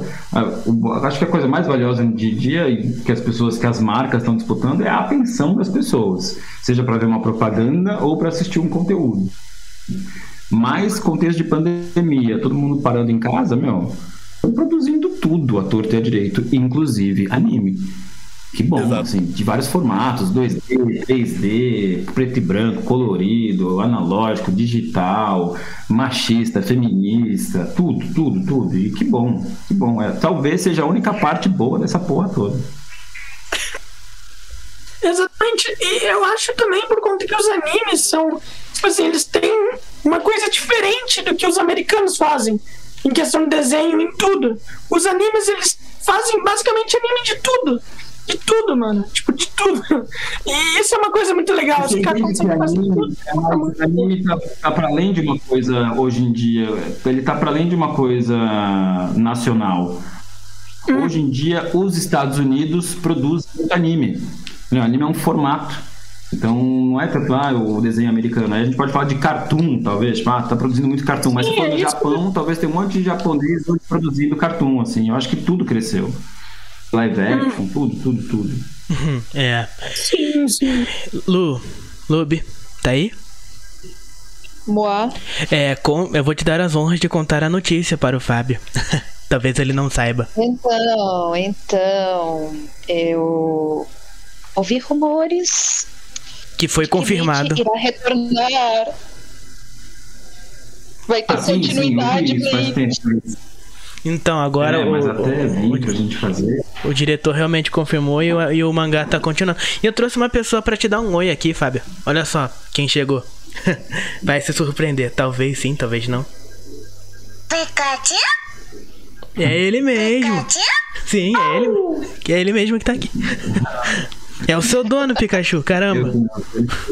Pesado, né? Tem, tem um Pikachu no altar. Tem um Pikachu com um pipazinho e uma gravata borboleta no altar, assim, na minha casa. Deixa eu Ah, mas o Pikachu com coisa, aquela voltando, caracinha. voltando a Bleach, voltando a Bleach, né? Ah, antes de ter, antes de ter a questão de continuidade e tudo mais, ali naquele final que teve, ah, o que que tu achou do Ichigo ficar com a Orihime em vez da Rukia? Ainda bem, graças a Deus. É isso que eu tinha a dizer. Eu gosto, eu não acho. Também, mas. Confesso que eu gosto. eu Acho, acho uma boa escolha. Ai, não. Contra- não, não, não, não adianta. A- a- eu gosto da Hulk. A Hulk é da hora. A Hulk é mó maneira. Eu gosto pra caramba da Hulk. Mas a Orihime. A Orihime, ela. Ah, o anime é chato, mano. Ai, cara, eu, eu acho que assim, uh, Ichigo e Rukia seria muito mais compatível, assim, por assim dizer. Ah, assim. Tá. loucos. Questão de personalidades, assim, eu acho que seria muito mais Mas- compatível. Ah, é. questão de mas, opiniões. Mas então, mas eles parecem mais irmãos pra mim. Parece mais irmãos, assim. Não tem Exato. muito desafio ali, assim. Alguém me entende finalmente. Alguém me entende. A Hulk é basicamente a, a mais velha dele. Não, agora, agora eu tô convencido. Exato, agora exato. eu estou convencido. Se o Fábio Lucindo falou que é a, que é a Orihime, é a Orihime pra mim agora também. Dane-se. Pois Não, é, Oi? Peraí, o quê? desculpa. Desculpa pela, pelo, pelo que eu falei, já que o próprio, o próprio Ichigo tá dizendo que é Orihime, então é Orihime. Pronto, É Orihime, acabou. acabou. Não, mas assim, é, você chegou a acompanhar jogar Pokémon GO, Fábio? Ah, é muito pouco. Muito pouquinho, assim. Só no começo me desencanei. Não, não me pegou, assim. Não, muito não, pe- Nossa, eu não me pegou. Não, não. Ah, é, Não lem- pegou. lembrei. Jogos, jogos em geral, nem lá, nem nada. né? Eu acabei de lembrar. Outro dia eu tava numa rodinha de amigos conversando sobre Nintendo, inclusive, né? Não é o papo pro Las Nossa. Montes. E aí. Seus- É, seus amigos são loucos. E aí, tipo assim, a gente tava falando de Legend of Zelda, né? E aí os caras estavam falando lá que, o, que a, o pessoal lá do. que fez o Castlevania pra Netflix agora, tá querendo fazer uma adaptação do próprio jogo do Legends of Zelda. Aí perguntaram pra mim assim, cara, se, se pudessem é, escalar uma voz pro personagem, pro, pro, pro protagonista, que no caso é o Link, quem que você acha que ficaria bom? Aí eu comecei a pensar, Nossa, pensar, olha, pensar, não, pensar. Eu falei, pô. você, Agora. Eu falei, ah, não, eu acho que a voz do Lucindo fica bom pro Link. Fica bom, mesmo. Eu concordo com você. Eu concordo com você, exato. Mas tem não. Eu acho que não. Se for cair na tua mão, pô, cai na tua mão, me escala, por favor. É, porque eu tinha, eu tinha pensado, eu tinha pensado, poxa, já imaginou, cara, tipo, é, porque poderia ser o cara que fez o Gara, né, do, do, do, do Naruto. Aí eu falei, não, acho que não, acho que não. Sim, sim. Mas, tipo assim, cara, eu, eu assim, mano, você aqui marcou quase todo mundo, tá ligado? Tipo, fa- muita família. Eu, o que é mais engraçado é que eu falava, eu tava falando isso com a Fernanda Bular outro dia. Falei pra ela, nossa, cara, é engraçado, né? Tipo, que nos piores momentos, assim, é, são as vozes das pessoas que nos fazem é, se, senti é, se sentir melhor. Então, é sempre tem uma pessoa que vai lá e aplaca a tristeza, isso com alguma coisa que você gostaria de ver. E essas pessoas estão indiretamente na sua casa. Isso que é na casa de milhares de pessoas. Isso que é, Exato. que é, que é louco, né, mano? Tipo, ainda É, mais e a nesse. voz é, ativa, é o que ativa o significado, né? A voz é o agente que, que transmite a informação e a emoção de acordo com a tonalidade, com o tom, e carrega tudo, né? É muito louco, é uma coisa etérea que quando você reproduz, te consome, você recebe também, o cara reproduz lá de lá, invade o seu corpo e te leva para significados e sensações muito loucas, assim, muito, como se diz, aconchegantes tal a gente escuta antes de nascer, né? A nossa audição é pré-natal, então dentro da barriga da mãe a gente já está escutando o mundo exterior. Então acho que as nossas memórias auditivas, de fato, elas estão num pré-límbico, sei lá o que do cérebro, que é muito, muito, muito é, como a gente mesmo falou, afetivo, assim, aconchegante, uma coisa de quase uterina mesmo, de conforto. E lembrar pela memória, tipo, se você escuta a voz de um amigo seu que morreu, sabe? Tipo, é emocionante, assim, você, você tem a pessoa presente na sua frente, assim, acho que é muito, muito, muito poderoso mesmo o estímulo sonoro. Muito. Sim, e agora uma outra pergunta que acabou me ocorrendo de novo. Você acredita que com o passar dos anos a imersão da dublagem vai ser muito mais profunda com a inovação das tecnologias voltada para esse mundo Du... Pro nosso mundo da dublagem, assim. Você acredita nisso?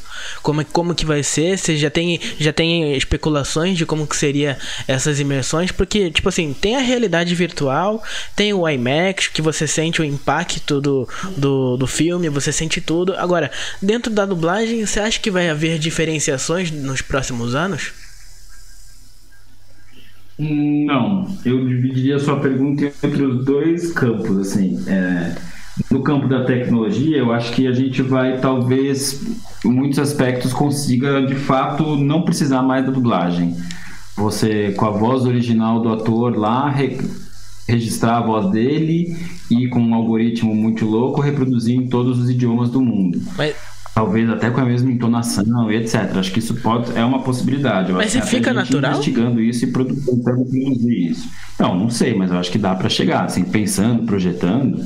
Acho que talvez se hoje não fica, mas daqui a 10 anos vai ficando, vai ficar cada vez mais. Assim como as vozes de computadores eram super antinaturais e hoje já são um pouquinho mais palatáveis, assim. Acho que a gente caminha para isso, para conseguir ter uma ferramenta que faça a dublagem automático se vai ficar bom, se vai ficar ruim, se isso interessa ou não, se isso funciona ou não, se isso vai ser aplicado ou não, já são outros 500. É... Mas como é que é? Tinha uma outra parte. O que, que você perguntou? Pergunta de novo que eu vou lembrar, desculpa. Então, eu perguntei para você se você acredita que a imersão da dublagem vai ter um, um impacto maior. Imersão, obrigado. É essa palavra. Desculpa, imersão. Aí eu já não acho que é sobre a dublagem. Se eu fosse colocar em imersão, eu iria para os jogos, para a localização de jogos. Acho que o quanto a dublagem e a localização, no caso dos jogos, que a gente nem chama de dublagem, né? a gente chama de localização, de Sim. localizar em português. O quanto a localização é, potencializa a imersão na experiência do videogame a experiência dos jogos, que é onde você tá. Porque na televisão, você, na dublagem, tá, você é passivo, você tá só recebendo. Quando está no jogo, você está interagindo. E algumas ações, algumas coisas que você precisa fazer, muitas vezes para não para continuar vivo, para continuar jogando, depende também de um estímulo sonoro, do que ele te falou, de uma coisa que caiu, de que você entendeu. E é muito mais rápido se você está na sua língua, se você está imerso no, na sua cultura. Então, acho que falando em imersão, mais do que a dublagem em si, a localização comprova o quanto isso vai deixar cada vez mais profundo, assim, e o quanto é fundamental estar tá no seu idioma natal. Sim. Mais que você fale inglês, mais que você seja bilíngue, trilingue, escambau. Na hora do vamos ver, na hora das decisões, na hora do reflexo, é quem te alfabetizou, é a sua língua mãe. E isso faz toda a diferença nos jogos, onde você depende desses estímulos para continuar jogando. Então eu acho que imersão eu iria para os jogos e tecnologia de dublagem eu acho que sim, pode existir um algoritmo que substitua o trabalho. Se vai ficar palatável e se vai substituir e acabar com a profissão, não, não sei. É, é uma coisa até meio triste de acho ser que não, ouvir, entendo né? que não, porque eu não acho triste, eu acho que se a gente tiver a noção, a gente vai conseguir entender. A gente já consegue, hoje, com uma impressora 3D, imprimir um Davi do Michelangelo. Exatamente igual, mais preciso, exatamente igual que o Michelangelo fez. Consegue, você consegue pegar um jato, uma impressora 3D também, botar no teto de qualquer lugar hoje e imprimir a Capela Sistina, exatamente igual, com jatos de tinta, não sei o que, não sei o que lá. Tem o mesmo valor? Tem o mesmo. Não sei, talvez a gente caia para isso na dublagem, no teatro, não sei o que. Tipo, ah, tá, eu consigo, tem aqui um mecanismo que faz exatamente igual, mas as pessoas querem isso? Tem, tem alguma coisa aí? Não sei. É, é legal até a página 3 ver uma máquina fazendo a coisa. É mais barato, ok, mas não sei se impressiona tanto assim. Acho que a gente vai ficar mais humano nesse aspecto quanto mais a máquina conseguir fazer as coisas. Assim, mais a presença vai ser. Quanto mais a gente ficar virtual, mais a presença vai ser importante. Por isso fala, ah, o teatro vai acabar. Mentira, o teatro vai ficar cada vez mais importante. Show não vai mais ter, não. Tipo, a gente vai cada vez mais dar valor para a presença, porque a gente não está em lugar nenhum. Está em todo lugar como um avatar. Então, pois de é. fato, onde eu estou presente vivendo, é a coisa mais importante que vai ter. O dia que a gente sacar isso, acho que vai ter uma virada aí. Sim. E você, você acha que Bom, você acha não? Na verdade, você teve bastante demanda nesse, nesses últimos anos é, de pandemia. Como é que foi para você? Ah, foi normal, na verdade. A, gente, a dublagem foi um dos campos que conseguiu continuar trabalhando, sabe? A gente conseguiu entregar. No começo rolou um pânico, ninguém sabia muito como ia ser e tal, mas o pessoal foi se ajudando, botando estúdio em casa, botando equipamento, botando espuma na parede, não sei o que, e entregou, assim, perto do pessoal de teatro, perto da galera da TV, nossa, dublagem muito bem, obrigado. E além de tudo, ainda teve aumento de demanda, ainda teve mais produções, mais coisas, porque o pessoal estava em casa, precisando de conteúdo. Então, a gente continuou normal, assim, eu continuei trabalhando normalmente, assim.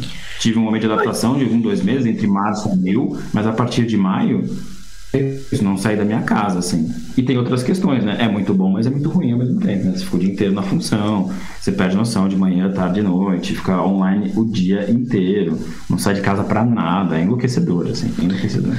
Internet falha, e, pô, até a gente chegar como a gente tá rodando hoje tranquilo, pô, batemos cabeça pra caramba. Cada estúdio usa um programa diferente, é, começa a obra do lado, todo mundo começou a fazer obra.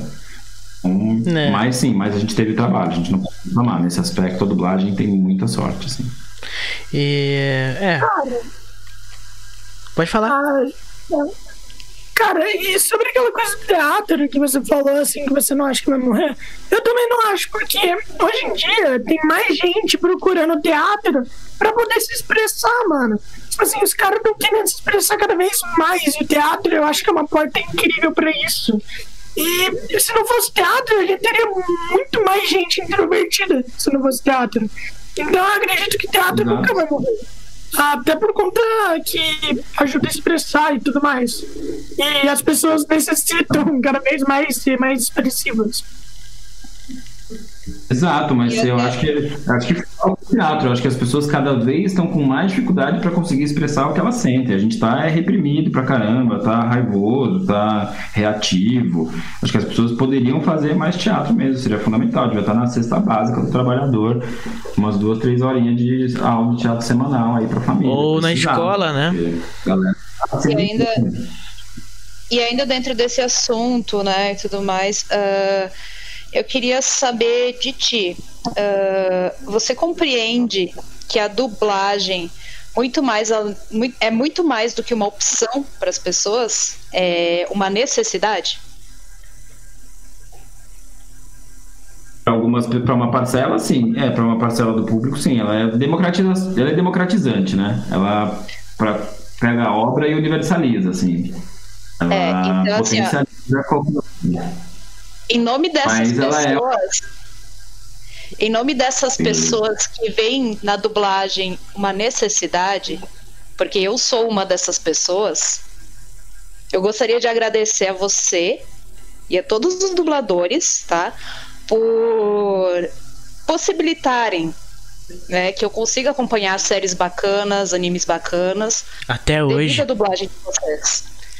Porque, que nem, por exemplo, Uh, existem as pessoas que têm necessidades especiais que não conseguem acompanhar legendado e tudo mais, e existem também pessoas tipo eu. Eu sou mãe de uma criança especial, eu não paro quieta um minuto, Jerry sabe disso, uhum. e eu só consigo acompanhar séries e animes se for dublado.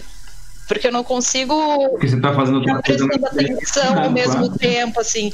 Então, é uma necessidade para mim que esteja dublado, então eu agradeço, assim, de coração, em nome de todas essas pessoas que veem na dublagem uma necessidade.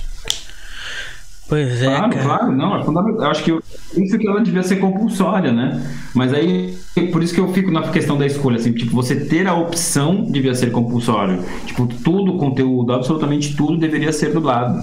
Para mim, tudo devia ser dublado em todas as línguas, entendeu? Devia ter. Tipo, obrigatório devia ser você ter a opção. E aí, como, quem faz uso disso através de quê por quais necessidades é outra coisa, mas devia ter, ponto, não devia ser nem discussão, entrar para discussão, ah, se tem, ah, se é melhor ou se é pior. Tem que ter, ponto final.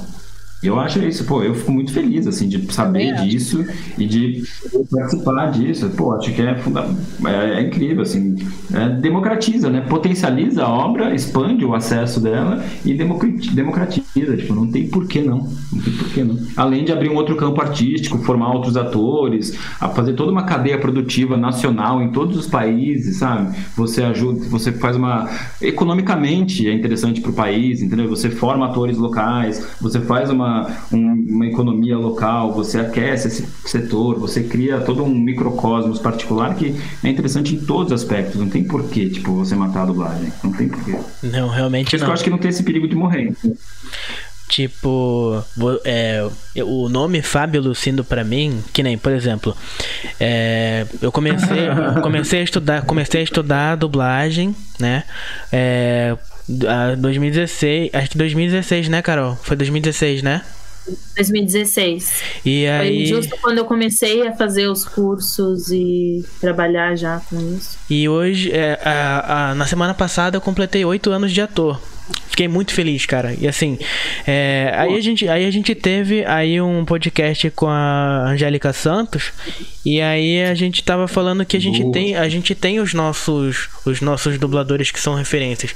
E os meus é a Angélica Santos, a Andressa Baudet e, e, e, a, e, a vossa, e a vossa senhoria que está aqui presente hoje, cara. Porque, tipo assim, ah, meu, meu irmão, eu, cara, assisti, assistindo Dragon Ball, tipo, é, cara, sabe, é, tipo assim no, em momentos bons, em momentos complicados da vida, é, eu tava lá assistindo Dragon Ball e o Kuririn sempre me fazendo dar risada e, e Ichigo e, e cara, é, é, isso, sabe? Tipo assim, é, porque assim, muitas pessoas que a gente ouve a voz, a gente não tem a oportunidade de dizer pra ela, cara, obrigado por isso ou em simplesmente de poder apertar a mão, ou ser dirigido por aquela pessoa, ou simplesmente abraçar aquela pessoa, porque você como dublador, você com certeza tem as suas referências e algumas alguns dubladores que você realmente gosta, sei lá, ou, ou conhece, não teve acesso a elas e você tem referência, é, talvez é, por esse mesmo lado você talvez se sinta assim também. E é muito louco isso, né?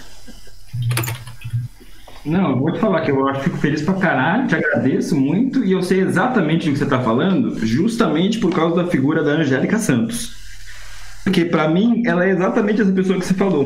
Tanto que a minha primeira escala de dublagem na BKS, eu tinha tipo, meus 13 anos de idade, foi com ela. Ela, ela contou, ela contou. Foi com ela, com o Hermes e com a Daniela Piquet. Ou seja, na minha primeira escala da minha vida na BKS, eu tava com. Só que não era nem o Cebolinha. Eu descobri durante a escala que ela era o Cebolinha, mas pra mim eu assisti, eu adorava. Eu era maluco por aquela série Anos Incríveis. Ela contou toda a história. Ela contou cada Mano, história, velho.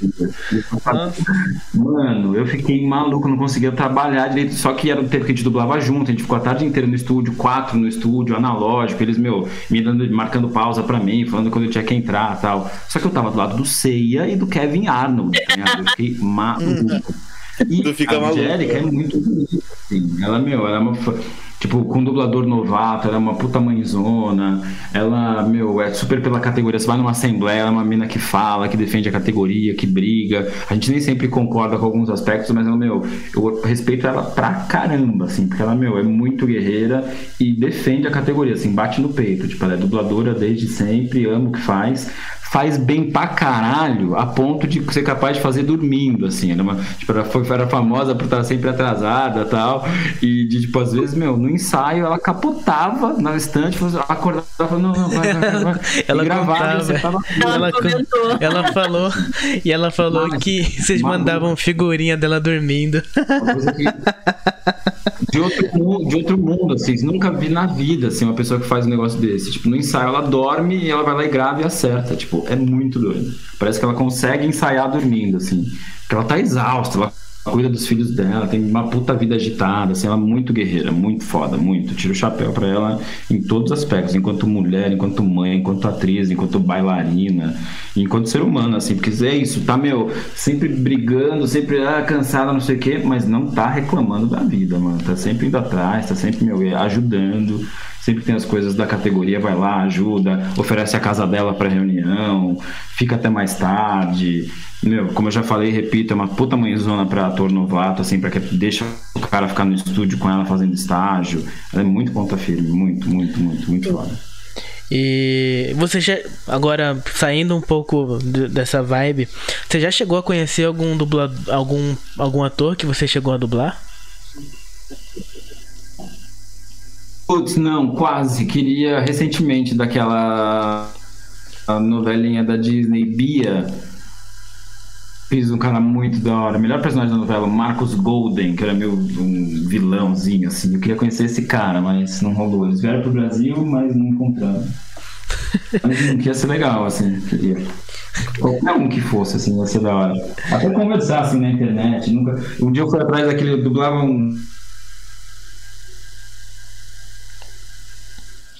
People Big World lá, pe- pequena grande família, sei lá como eles traduziram.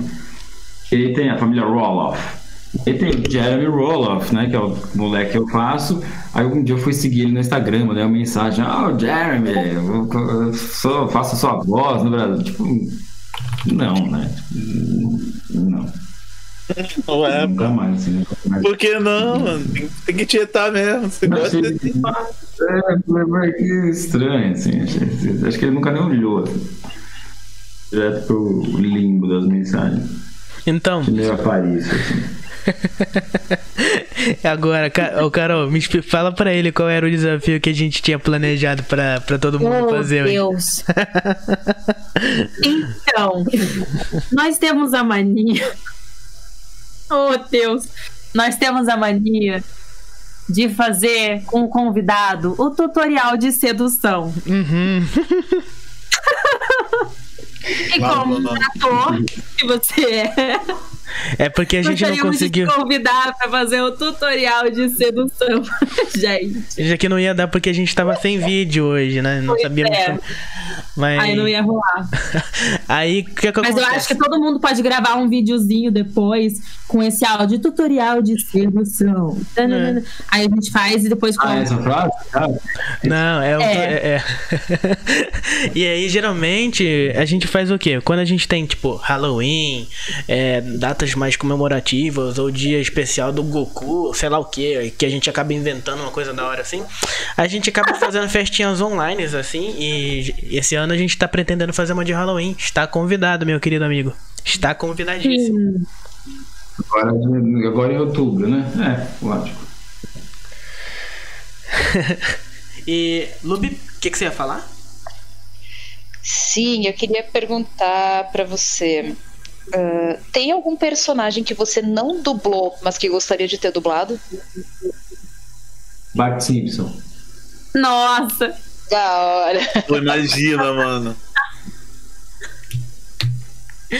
Aquela, né? Já aproveita. Como você faria o Bart Simpson? Ah, então, eu queria poder fazer meio na minha voz normal, assim. Não ia fazer meio Ash nem nada. Ia fazer. Isso, ia ser um personagem que, tipo, queria ter começado a fazer o Bart com 15 e tá fazendo até hoje, sabe? O Bart já mudou umas 4 ou 5 vezes a voz também. Eu Lá queria. Janeiro, Sempre Rio de Janeiro. Eu queria. Mas queria, nossa, queria ter né? começado a fazer o Bart aos, aos 12 anos de idade e tá fazendo até hoje. 30 anos de Simpson e a, e a Meg é um bebê ainda. Enfim. Pois é. É, É, queria te pedir um favor, Fábio, se for possível. O Itigo e o Et pode mandar uma mensagem pra Rádio Blast, que é a rádio que a gente tá. Obrigada, hein? Nossa, mano, agora é agora. Rádio Blast, é isso? É, a Rádio E- Blast que é a rádio que você está agora. Mas, mas mas, é, mas tem algum slogan, tem alguma coisa? Não, né? Uma A Rádio explo- Blast é uma explosão de conteúdo. Esse é o slogan. O slogan do slogan. É isso? slogan do slogan. É. E- É, é. E o slogan do podcast é podcast, seu podcast semanal. Então eu vou mandar um hash, tipo, como é que é? Como é, é... Como é que é o nome? Peraí, como é que vocês estão falando? Rádio Blast.